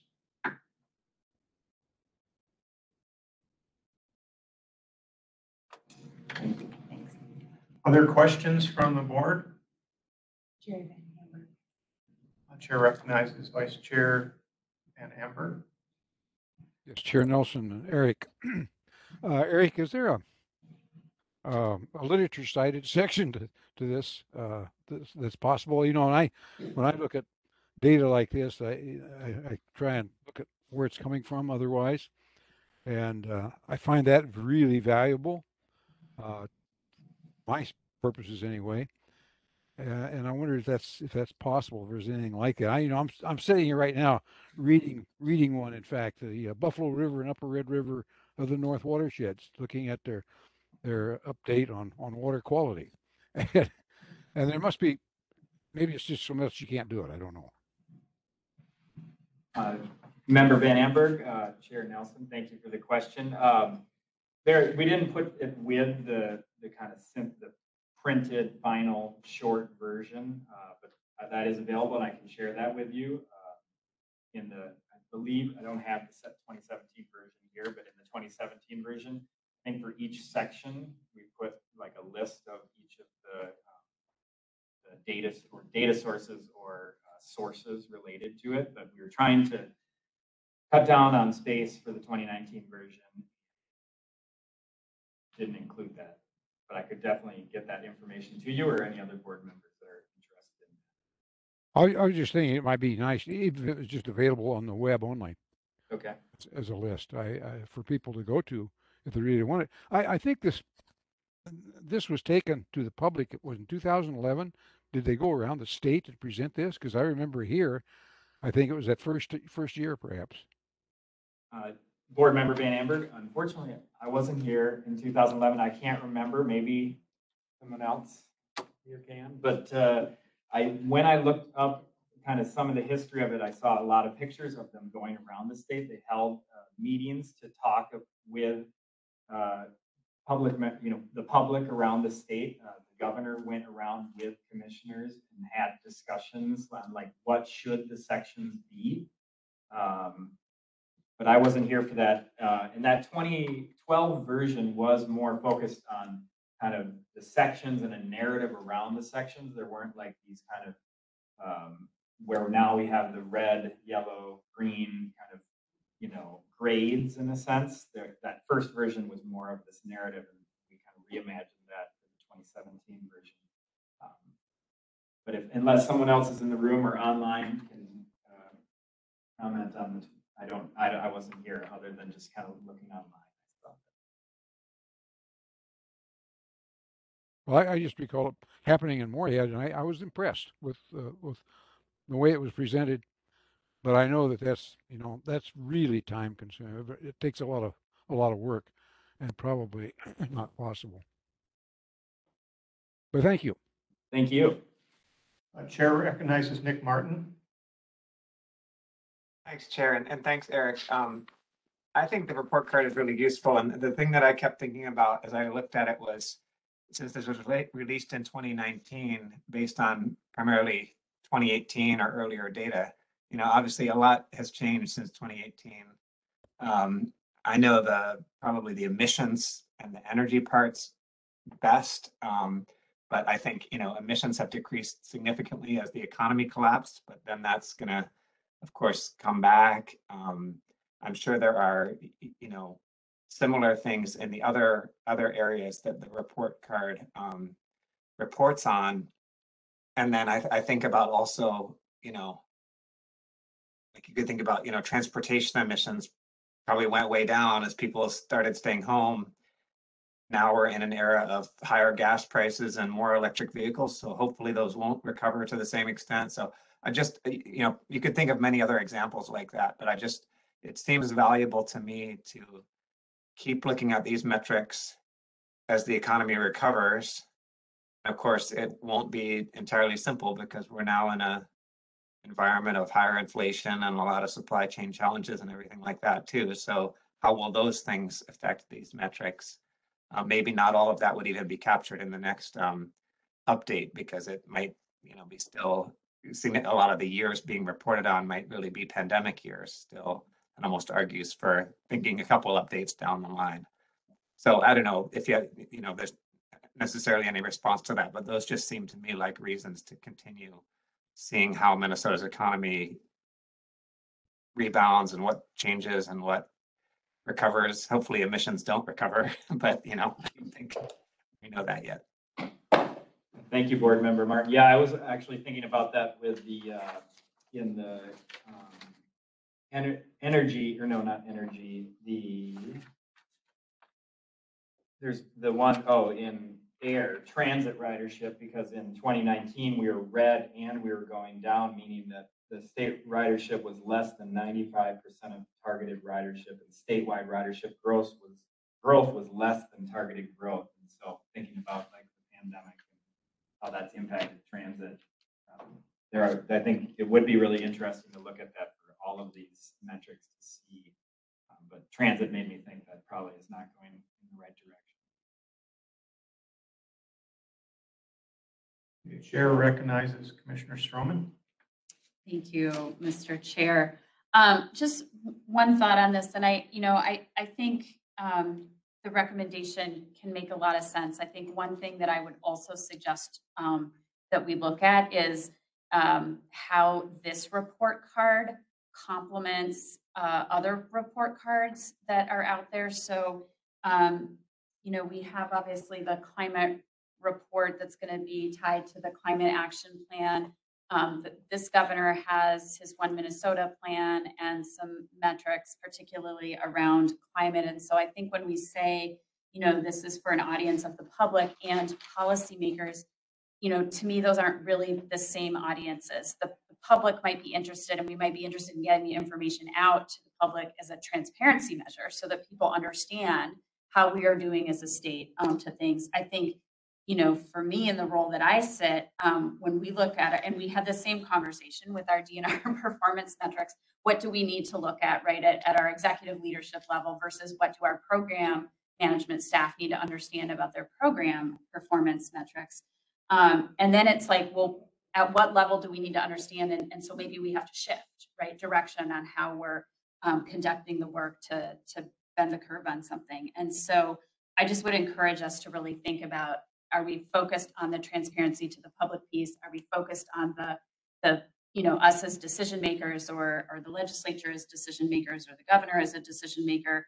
And um, then it's like, okay, so what do you do with that information, right? And, and then make sure that it's adding to or complementing the other report cards that some of those audiences are already using um, versus, you know, sort of throwing it out there and hoping that this is the one they will they will choose to use because the, the reality is many of those audiences have their own report cards or you know metrics that they're using. And so i think if we're going to spend time we want to make sure that it is you know to an end that is going to be useful to somebody either to be able to assess where we're at and you know change programmatic focus to to do better and get to the the target or um, you know help the public understand a situation. And then it's sort of like the question for the public is, okay, if we're not meeting a metric, what do I do about it? As a member of the public, who do I call or I do? So I just, I would encourage that to be part of that thought process and, and review too. I think these can be really powerful tools, but I think you kind of have to go all the way through of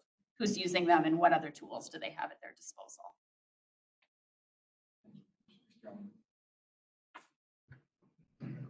Uh, Chair recognizes public member Joseph Bauer Copper. Say that for me. Thank you. Bauerkemper, yeah, thank you. N- n- No problem. Thank you, Chair. Uh, thank you, Eric, for the presentation. Um, my question has to do with, I think it was maybe option three, uh, perhaps one that's not recommended by the staff that included, I believe, a gesture toward a kind of fundamental revisiting what the metrics are. Um, and I'm curious if that arises out of a discussion. Uh, you know, what is what is the conversation surrounding the selection of the metrics that presumably need to be sustained over time in order to have comparative value? Um, but what is the discussion surrounding the the selection of the metrics and the evolution of that? And is it realistic to fundamentally revisit that? Can you say a little bit about uh, about that um, option three that you know, as noted, is probably not recommended, but I'm nevertheless curious. Uh, Thank you, uh, Board Member Bauerkemper. Said that right, I believe. Uh, Thank you for the question. That's, uh, you know, we've had a lot of discussion about uh, other metrics um, and the amount of work and uh, it would take. Um, I think, you know, I could talk about quite a bit other metrics I think would be interesting. You know, the board, we wrote a report on Emerald Ash Borer, but we don't really have a metric related to that. Uh, Or we have a, you know, we're gonna hear about pollinators next, and we don't really have a, a metric related to pollinators. I think there's a lot of options for, um, expanding, um, the metrics. um, But I also know that that would be, a- uh, it was quite a bit of EQB staff work, but it would, it was a substantial amount of work for interagency staff to put together the, all the data and track, track down the data and then um, kind of reconfigure the, the goals around that. Um, But it is a really appealing thing to me too, but it's not really my, my decision uh, to do that. It's really the board and I, I I welcome your direction on that. Um, But I think, you know, even around land and, you know, recycling, is that the best metric or is waste generation a, a better metric? Uh, you know, we use land conversion, um,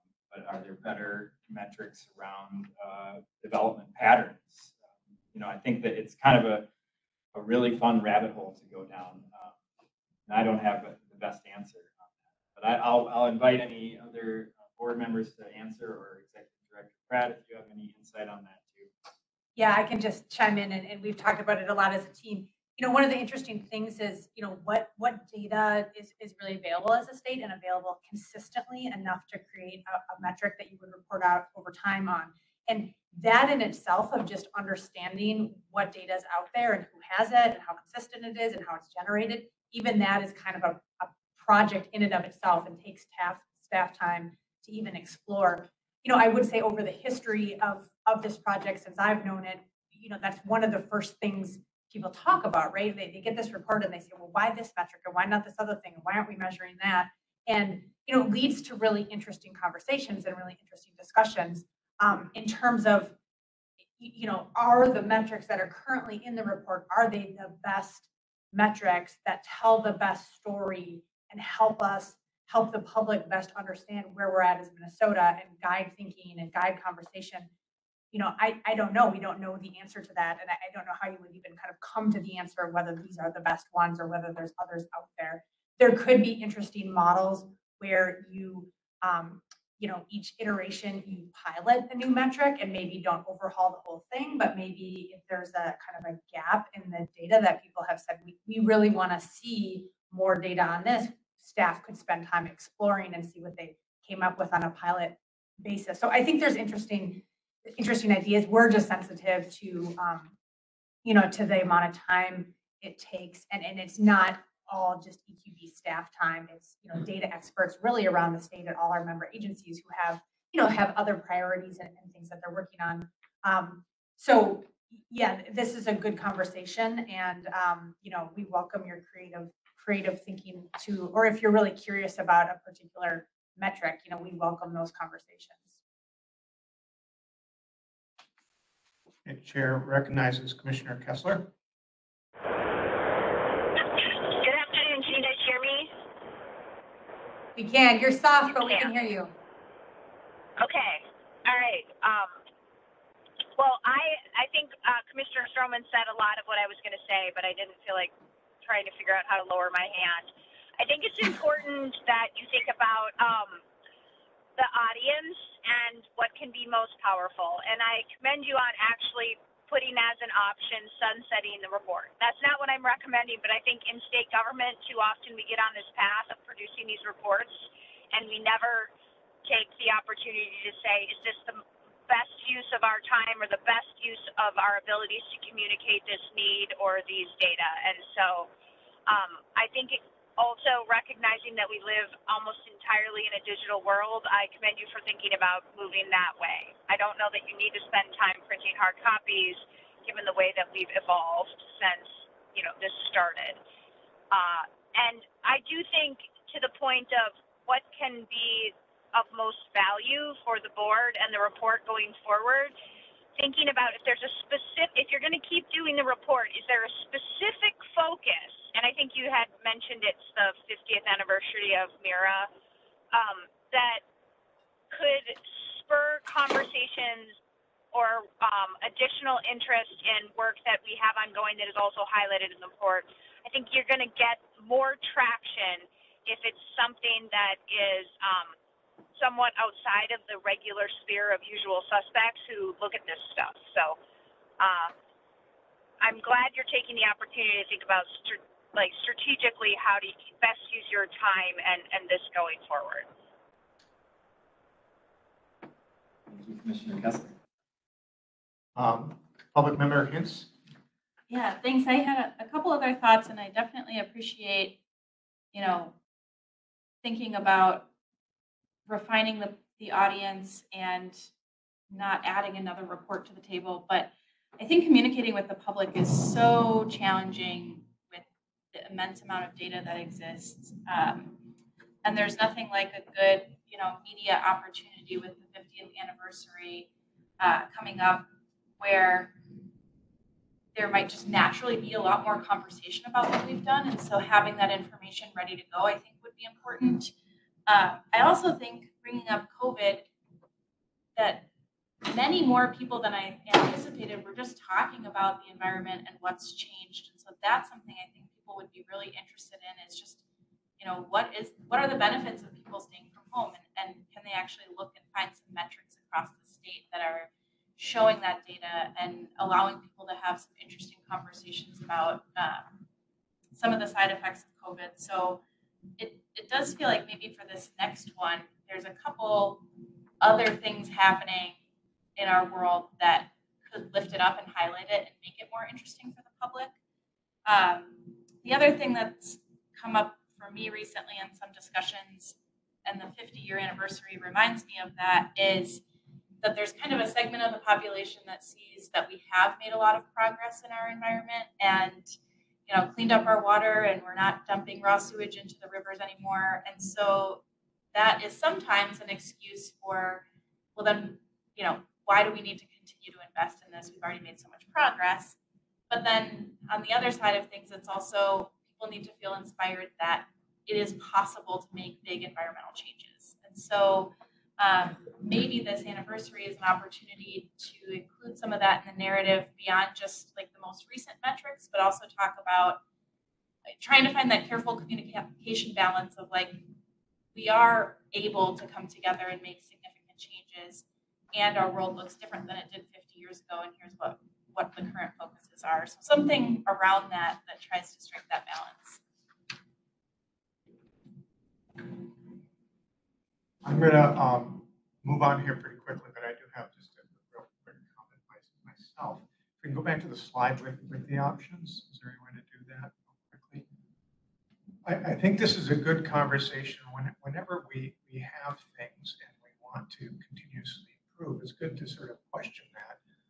I think an earlier meeting this year, when you had your, your work plan for the year, um, um, Executive Director Pratt, I asked how the staffing level was and how comfortable you were tackling that um, work plan and the agenda, and you said it was tight.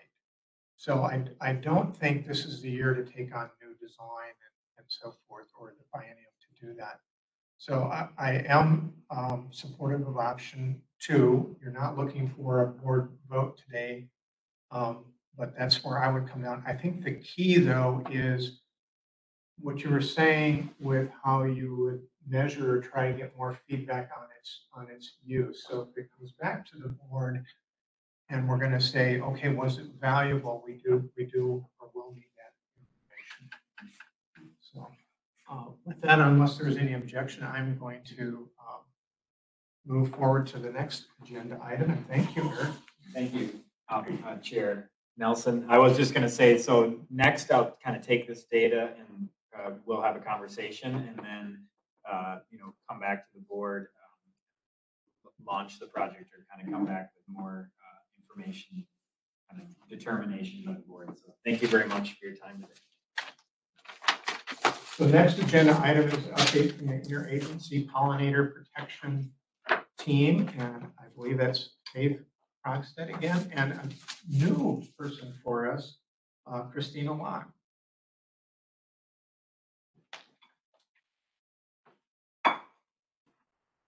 I could just add one more thing, again, informational, no, no decision, but again, I think you wanted to have a little bit of a, a discussion. Um, we still are reasonably on time, but we can't go too long without going over. Thank you, Chair Nelson, uh, members of the board, and members of the public. Hello again. I'm Faith Krogstad, um, Engagement and Communications Director at the Environmental Quality Board, and I'm here with my colleague, Christina Locke, uh, the Pollinator Conservation Coordinator at the Department of Natural Resources. And I just want to say that um, Christina is a fairly new employee to state government, and when um, the State Pollinator Coordinator at the Environmental Quality Board, Rebecca Gutierrez Moreno, said she would be unable to make it today and was asking for people who could present this. Um, Christina volunteered, so hats off to Christina for um, her willingness to jump right in, uh, feet first, and uh, help us out with this presentation. Um, so we're here on behalf of the Interagency Pollinator Protection Team to give an update to the Environmental Quality Board. Go to the next slide. Um, in our presentation today, we'll give some background on interagency pollinator work, um, talk about the developing, I'll hand it off to Christina to talk about the developing pollinator action framework that the team is working on. And then I will invite you to a very exciting event in June, the 2022 Pollinator Week kickoff that will be happening at Spring Lake Park um, near Hastings on June 15th. Next slide, please. So first, I just wanted to ground everyone in uh, pollinators. Who are we talking about when we're talking about pollinators in the state? Many times our minds go immediately to honeybees, and honeybees are very important pollinators. Um, but I wanted to make sure we also um, mentioned that there are thousands of species of pollinators in the state, including uh, butterflies, flies, bees, beetles, moths, wasps, etc., and on and on. Um, and there is just a great diversity of these species, and there are some photos here from a previous report from the Interagency Pollinator Protection Team um, showcasing some of this diversity here. Um, we know probably the most about um, honeybees. Honeybees are a managed pollinator species as opposed to a wild species. Um, so it's one of these species that you can, you can learn about regularly because they conveniently are in a hive box. You can open the lid and look inside and see what's going on in there.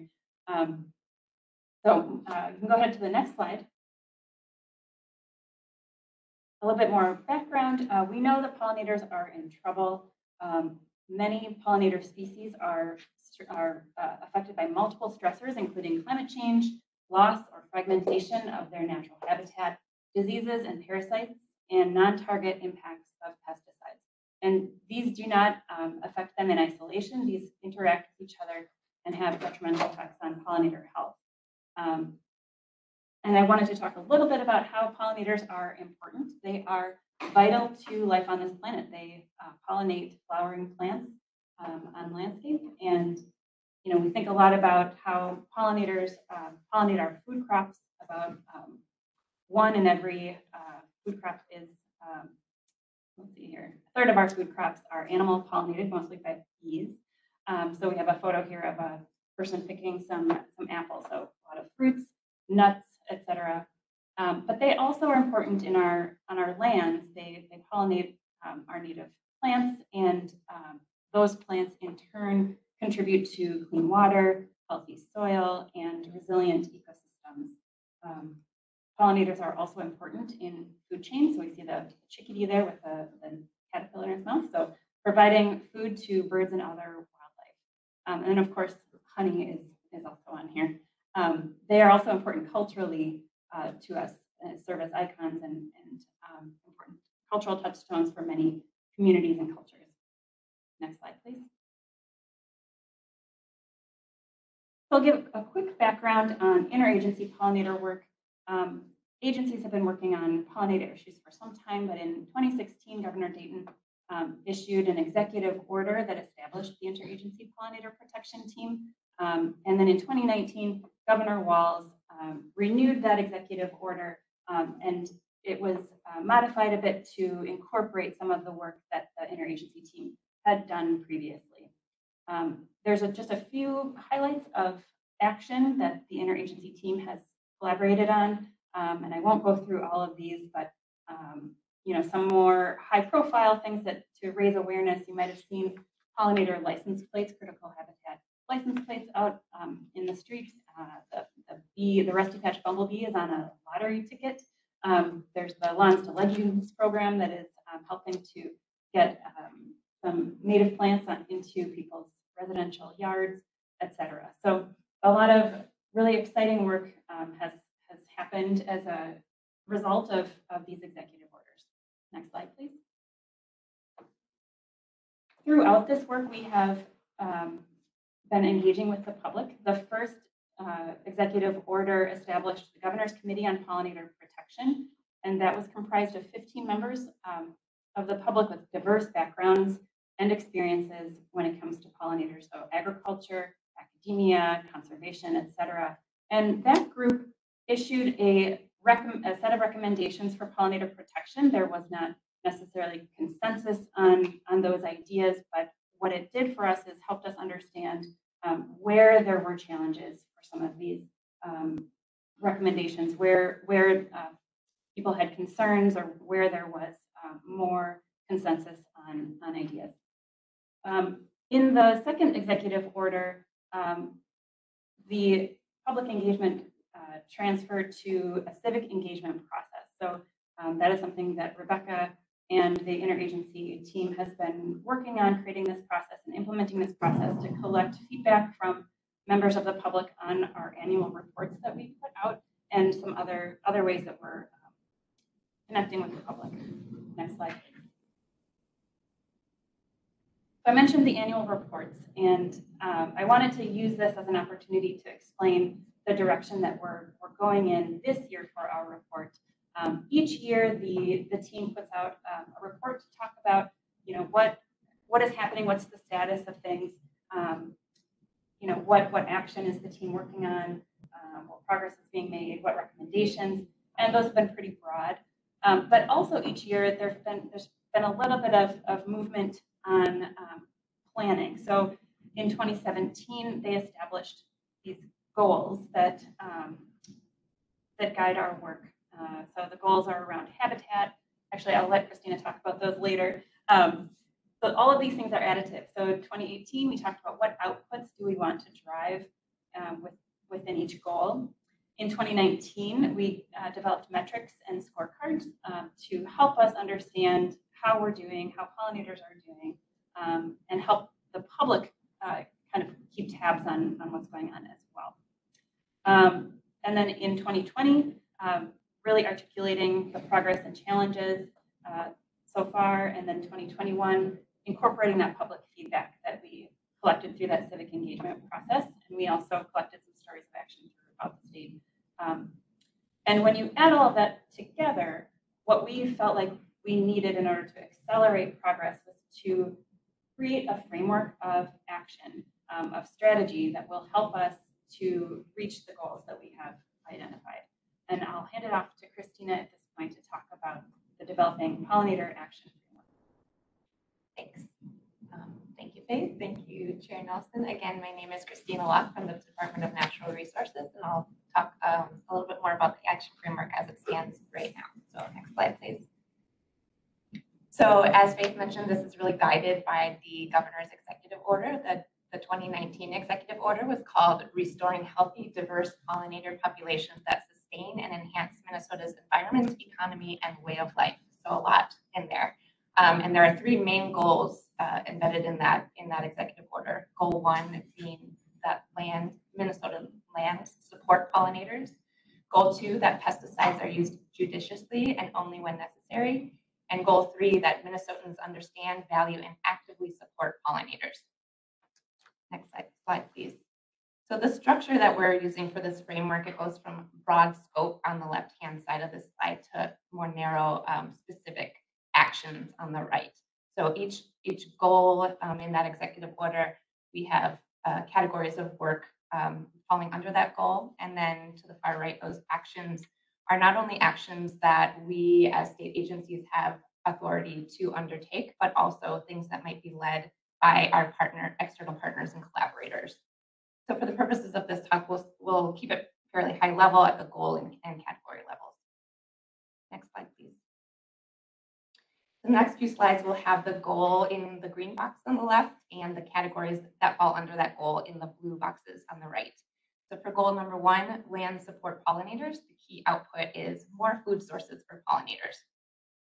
And the categories we have are protected habitat. So that would be um, acquiring conservation easements on private lands or fee simple acquisitions on public lands um, that harbor pollinator habitat or could potentially harbor pollinator habitat. The next category of work, um, restored and created habitat. Those would be projects that start with bare earth and involve um, vegetating that land um, in order to attract pollinators. So some of our agencies call that habitat restoration, some call it habitat creation. So we've got both um, in that category. Enhanced habitat uh, has to do with already vegetated land, um, but changing the management practices on that land, whether that involves fire or mowing practices or interseeding, um, things like that to, to make that land even more attractive, attractive to pollinators. Next slide, please. Goal number two, use of pesticides is judicious and only when necessary. The key output there is reduced pesticide impacts to pollinators through integrated pest management or IPM practices. So the practices around pesticides we have separated out um, for agricultural settings and non-agricultural settings because the actions having to do with those practices are going to vary depending on, on the setting. And then that third category there, are robust protections has less to do with uh, practices and more to do with policies and programs. So for example, a program that uh, is geared towards pesticide applicators um, to help them comply with existing pesticide regulations, that is something that might fall under that category. Next, that, next slide, please. Goal three, Minnesotans understand, value, and actively support pollinators. The key output there is more community action on pollinator protection efforts. So um, we've got some really feel good, wonderful, as Faith mentioned earlier with the EELS program, these are some of the programs that are really, really exciting and hopeful and, and involve the public. Um, we've got uh, a few different categories here. Uh, the first, diverse and inclusive public participation. We're, we're really talking about um, making the process more democratic here. We don't want uh, these pollinator protection efforts uh, to happen without public feedback and without public knowledge. And that goes hand in hand with the second category there, effective public access to information. We want these to be trans, uh, transparent processes. Um, as far as the IPPT goes, we want uh, the information we're using to make uh, decisions and recommendations available to, to, the public as well, so they know what, what's going on. Um, sustained education and training. These are programs that could be community science, uh, train the trainer initiatives, um, workshops, uh, these tend to have highly engaged participants, and we'd love to support programs like that, that um, people get really engaged and in for the long haul.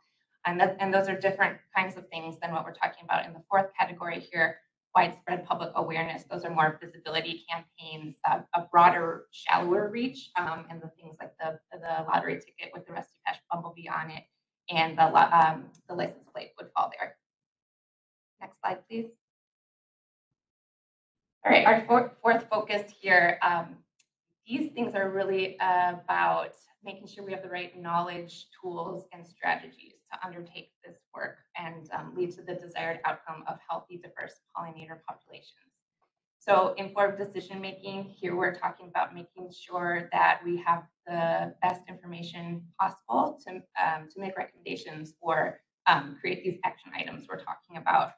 Um, if there are gaps in knowledge about the biology or habitat preferences or what have you, that's preventing us from making a good, clear decision, uh, we need to identify those knowledge gaps.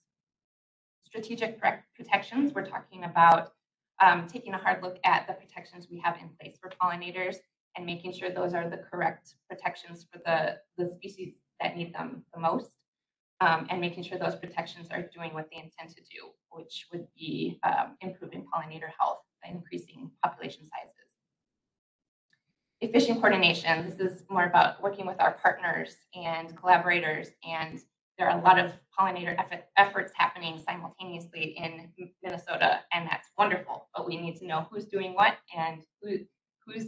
Uh, uh, we shouldn't be duplicating efforts. We should be working together um, towards common goals, and that goes along with long-term planning. Um, we don't want to be rehashing the same arguments or um, decisions that with every executive order or with every funding cycle, we should be building on um, efforts uh, from the past and evolving from there. Next slide, please. Okay, developing the framework. Um, so this is uh, an update to our civic engagement process. We are looking to use the Engagement HQ platform to garner um, public feedback on the on pollinators in general and the action um, issues related to the action framework. Uh, specifically, um, opening uh, opening this up coming up really soon in June, June and July this summer. Um, simultaneously, uh, we would like to get feedback, feedback from focused uh, subject matter experts um, with the intention of incorporating that feedback into a draft action uh, framework that we would uh, present to the board in November. And that's ahead of the December release of the annual report, which would also include that draft action framework. Um, we want to continue garnering public feedback um, once that annual report is out. And then with the goal of uh, in 2023 finalizing that framework and um, working on an implementation plan. And I'm going to pass it back to Faith uh, to talk about an upcoming event. All right, next slide. Thanks, Christina. So I would like to invite everyone here uh, to our Pollinator Week kickoff. International Pollinator Week this year is June 20th to the 26th. And in advance of that, we are hosting this to raise awareness about Pollinator Week in Minnesota. Um, it is at a beautiful location overlooking the St. Croix River um, at Spring Lake Park Reserve on Wednesday, June 15th from 11:30 a.m. to 4 p.m. And uh, we will have remarks from county and state leadership. Um, it is this is being held at the same time as the normally the, the EQB board meeting would be held. So um, hopefully you'll have time on your calendar to to join us. Um, we will have some keynote speakers, uh, Marla Spivak from the U of M Bee Lab, Eric Runquist, who is on the Interagency Pollinator Protection Team. He is speaking, he, he works for the Minnesota Zoo. Wendy Caldwell from Monarch Joint Venture. And then the Department of Natural Resources has been uh, working with students in the area to implement pollinator um, habitat on school lands. And so the students will be coming to present their work um, and then we'll have an exhibitor fair and hands-on activities, including a bumblebee survey during that day. So we, we really hope you all join us and uh, because we know the weather will be perfect. Um, and, um, and, and we, we hope to have a lot of fun. So any, if, if there are any questions at this time uh, from the board about the uh, developing pollinator action framework or this event, uh, we're here to answer them. Thank you, Faith and Christina. Um, there's a little more time was set in the agenda for discussion here, so I'm, I'm anticipating that you had some specific things you kind of wanted to pick from us. Could you highlight one or two, or is it? We didn't intend for this to be a discussion item, so we did not bring discussion questions. However, this topic generally does um, inspire a lot of questions and comments, and so we wanted to make sure there was ample time for that. So I'll open it again to the board members. Um, In the room, raise your hand. Virtually, uh, virtually raise your hand, so. Yes, Chair recognizes. Is it Commissioner? I, it's, I'm standing in. Standing in. Mil- Milton. Commissioner, thank you. Uh, Chair Nelson. I have a question that sort of overlaps into what Eric presented. Um, Commissioner Strommen talked about, okay, we do all these reports in, in different parts of different agencies and how do they kind of tie back into the report card? Do you have any kind of thoughts about that topic with this particular report and then just having heard from Eric on the report card? I think that would be a great question for Rebecca Gutierrez Moreno, who's the state pollinator coordinator who is not here today. And we can certainly bring that back to her uh, for consideration. I, mean, I can chime in too. You know, the, so first of all, the environment and energy report card predated the pollinator work. And the pollinator work really came online as kind of a, a a niche issue where it wasn't, there, there wasn't kind of a gap in how agencies were, um, you know, addressing pollinators. And the report is just one aspect of the pollinator work. You know, there's a lot of interagency coordination work going on. But I mean, I think, I think this is a broader issue that we see across our member agencies and at EQB is, you know, this need for public information. We know there's a need for public information. The public wants uh, transparency. They want to understand these issues. Um, and different agencies hold different pieces of the puzzle. And, and some of that is cross-agency. And so how do you align, um, how do you align the needs that the public has with the information that the state has? And I think it's going to be an ongoing puzzle and an ongoing issue. And, and, um, and then how EQB sits in that intersection. And, you know, I think one of the things with the environment energy report card that came up in our staff, uh, staff discussion is to our knowledge, it's the only report created by state government that is both cross-agency and cross-media. So it's also, you know, maybe there are others that others might know of. So trying to really look at, is this a report or is this a effort that is hitting a niche, you know, a, a niche um, that isn't being covered elsewhere? And then I think the flip side of that is, as I think, you know, board members were bringing up, is how do you make sure that's connecting with that same audience that wants that type of information in that way? So I think it's good, these are good questions and good puzzles and, you know, welcome all the creative thinking from, from the board. Um, I'll also say that our, our scorecard um, was very challenging to develop. And um, what we found is that there's really, uh, the, our, our sources of information and data are really limited. Um, and it's, it is a, it is a complex thing to undertake. So, you know, if you're, you know, the DNR and you're looking at, you want to understand deer, you know, that's one species. You know, here we are, we have thousands of species, probably with many different um, habitat needs and, and whatnot. And, you know, so creating a scorecard for that, you know, is something has been a challenge because we have to come up with something that's useful to us um, and also useful to the public, um, but is, it's not going to be perfect at all. Um, and so I, I would just, um, it, it- and it's also something that we don't get new data necessarily very frequently. So um, again, on that timeline question that you asked about the, the metrics, um, that can be a challenge too, to make sure that those align. Chair recognizes Commissioner Kessler. Thanks. Um, I think the event sounds really fun and a good opportunity to celebrate the work. I would just note, and I'm sure you're thinking about this, that there are a number of members on the, at least the House Environment Natural Resources Committee that are very keen on this work and would probably appreciate being included. And we can talk separately about that, um, if that would be helpful, Faith or others who are planning that. Thank you, Board Member Kessler. That sounds like a great idea.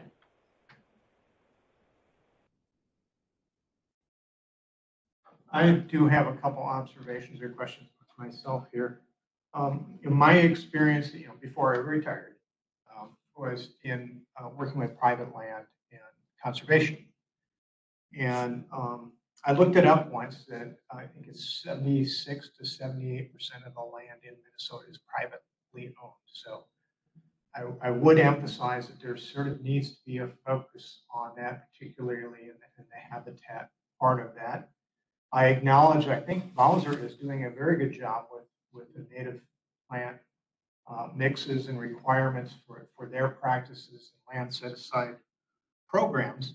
But if, yesterday, as I was doing some uh, plumbing repair, I had to go out and buy stuff. And as I went to the hardware store and other places, there, there's signs all over about native uh, plant sales, so forth. Um, my 92 year old mother um, talked her uh, co-op into doing part of their area native landscaping and so forth. So, so I think there, and maybe I'm wrong, that there is a fairly good level of awareness out there. And, and it's good to see that you acknowledge there's a difference between awareness and the other parts of reaching out to the public. And, and what I suggest is, is that since it seems to me, but others can confirm this or not, that there is a, a good level of awareness, but awareness is not what makes people act.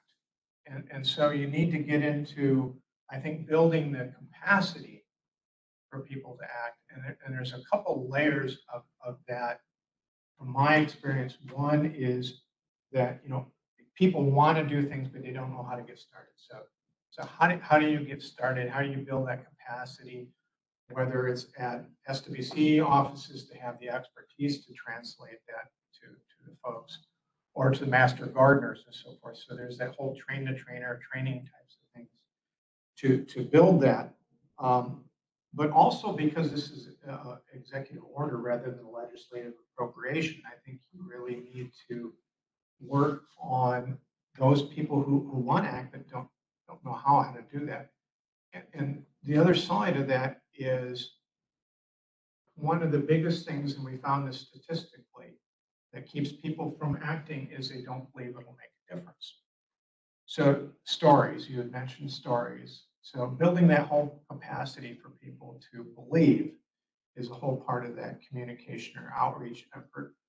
In my mind, more so than, than the awareness. Um, and that, that means, again, technical assistance, enough going on that people see their neighbor doing it, um, and they believe that cumulatively this can add up. So, um, with that, I'll stop preaching. Um, thank you. This is, this is a topic that's really interesting to me. Public member Hintz. Um, just building off of that idea, I'm curious if you have any like maps or pilot areas of specific communities where the community has come together and done more native plantings, where you might actually be able to see some measurements in terms of both pollinators, but also, you know, are there more songbirds in the area because of that? That like, what would a community member what would maybe a more direct benefit to the community member, even beyond just, I feel good that I'm seeing these beautiful flowers that attract pollinators? Is there any sort of pilot that could be done that would showcase that? Or is already being done? The BWSR has the Lawns to Legumes Yeah. program that, and they have, um, one, one of the areas of, of grants that they have, I can't remember, neighborhoods or something like that. So, um, I think, you know, we could ask them, um, what, what they're learning from that. And I'm sure they're, they're talking to people who, you know, the grantees to find out, um, you know, how that, how that's been going and what, what changes that people are seeing. I don't know that there's any sort of uh, monitoring that's happening to, to learn about, um, you know, bird species or anything like that, though. That's an interesting idea. I'll add that I, going to be terrible because I don't even remember what city it was, but um, there was a, a university group, they did a very small project, but they were looking at the effect of No Mow May and comparing lawns that, um, of people who were participating to those that didn't and their proximity to parks and found way, way higher pollinator diversity um, near the areas that were, that were participating in No Mow May. So there's isolated projects like that that I have, I come across from time to time. I would love to collect more stories like that. That's a really great idea for, you know, highlighting bright spots to, to model actions after. Thanks. Chair recognizes Nicholas Martin. Yeah, thank you. Um, I'm curious, you know, uh, planting of native grasses can lead to, uh, you know, significant below ground carbon sequestration, depending, of course, on, you know, what species are planted and how big the scale is, and also depending on what the baseline land use is. But I'm just curious, has there been uh, thought about whether this activity potentially links to the climate action framework, the working lands um, uh, group work on carbon sequestration in Minnesota landscapes. Um, and, you know, can, can these projects sort of complement those goals as well, or even link to, um, you know, carbon credit markets that might provide uh, financing for those kind of activities? Thank you for that question, Board Member Martin. I am not sure if the Natural and Working Lands Group has considered that as part of the work. I don't know if Board Member Strommen knows the answer to that um, specifically. But Mr. Chair, I, I, I can just, what I will say is that I think, you know, the reality at DNR is we try to manage our lens for, or our lands with multiple lenses. So pollinators being one of them, climate being one of them, water quality being one of them. And so um, I would have to review the climate action framework. I'm not sure it specifically mentions pollinator actions, but yes, that is always a goal is to find those complementary and um, multiple benefits on the land we manage. So I would suspect in many cases, um, you know, the lands, uh, the grasslands that we manage um, are providing habitat for pollinators and they are providing uh, carbon benefits and they are providing water quality benefits and they're providing habitat for other species and recreational opportunities. So um, yes, that's that, yes is the short answer. Great, thank you. Yes, Chair recognizes. uh, You can Sure, just your say title Louise again. Eldridge. Um, Weltage. Thank you, uh, Chair Nelson. I would just add something to, to this topic. Um, on large scale solar sites, there's a lot of effort around beneficial habitat and looking at stackable benefits. And at Commerce, we've put together an interagency group, which includes DNR and BWSR.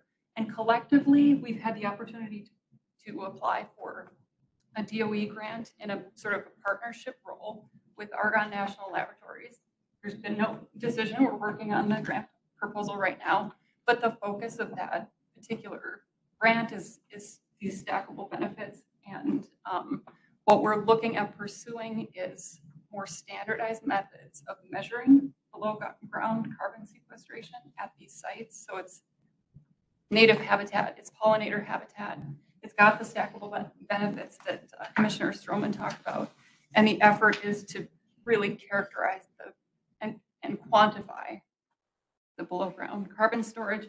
And for uh, board member Martin, there is, as part of that effort, we're looking at connections to carbon markets. That's something that's happening. That's, that's We great hope to hear. Louise. I, um, I don't represent Xcel Energy on the EQB, but I work for Xcel Energy and we have, um, uh, requested pollinator habitat on all of our new solar RFPs. So we're looking to promote pollinator habitat, but, you know, between the panels in all these new projects. Um, and also look at below ground carbon sequestration. So that, we'd certainly be interested in that. We, meaning Xcel, not me as an EQB member. But um, if you're not in touch with Xcel about that, um, could certainly uh, talk more about that. Can you let us know the outcome of your grant application when you hear? it? Absolutely. yeah. Thank you. Any other questions from the board?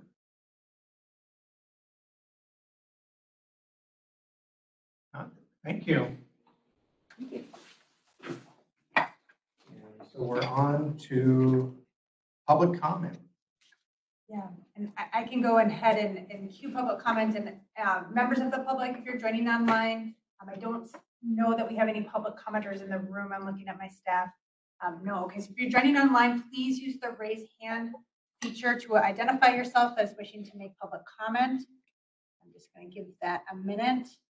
Um, I do know that we have one commenter, Willis Madison. Go ahead and I think uh, my team will unmute you. And go ahead and I introduce yourself and share your comment.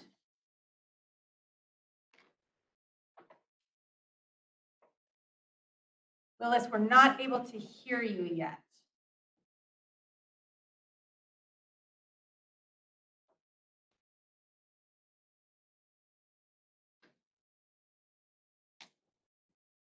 We're still not hearing you. I'm looking at my team. Yeah, ideas? Little green microphone. Shows you unmuted as unmuted, Willis.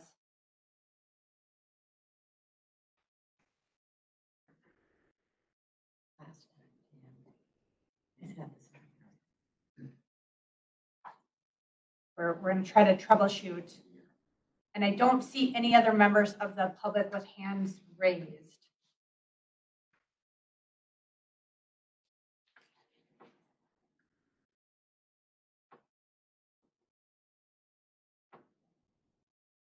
Okay, Willis, any?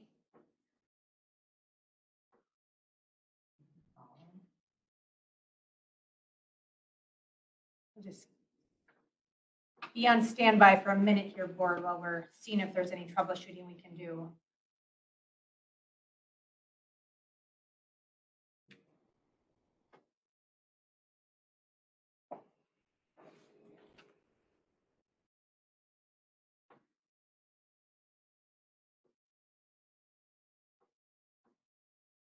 Okay, well, I'm not seeing any good options at this point. Team, any, any ideas? I think given that we're at the close of the meeting,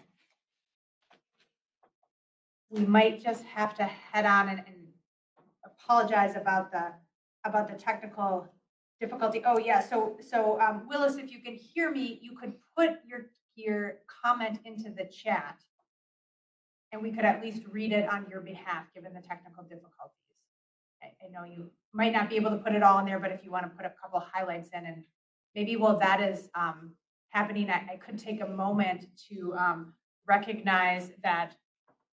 Yeah. I'm sorry, a- another suggestion might be if he has a longer comment, he just provide it via email and we can address certainly. it at the next board meeting because we don't have any imminent action on any of these items that were on today's agenda, so.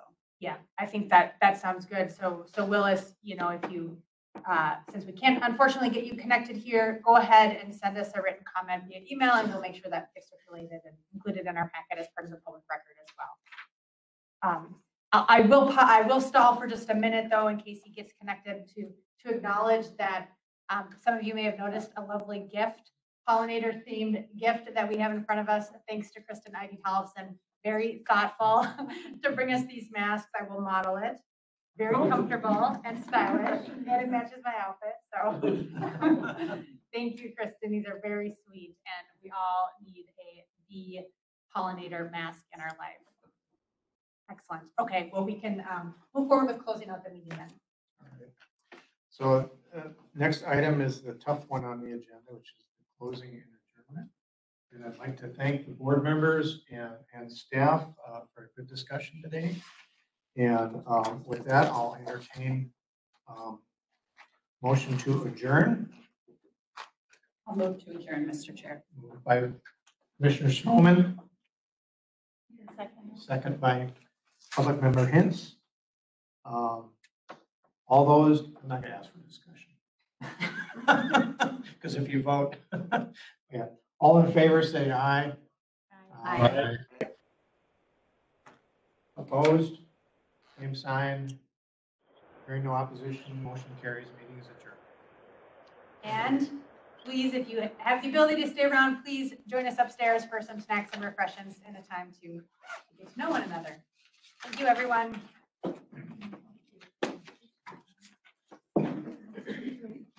Thank you.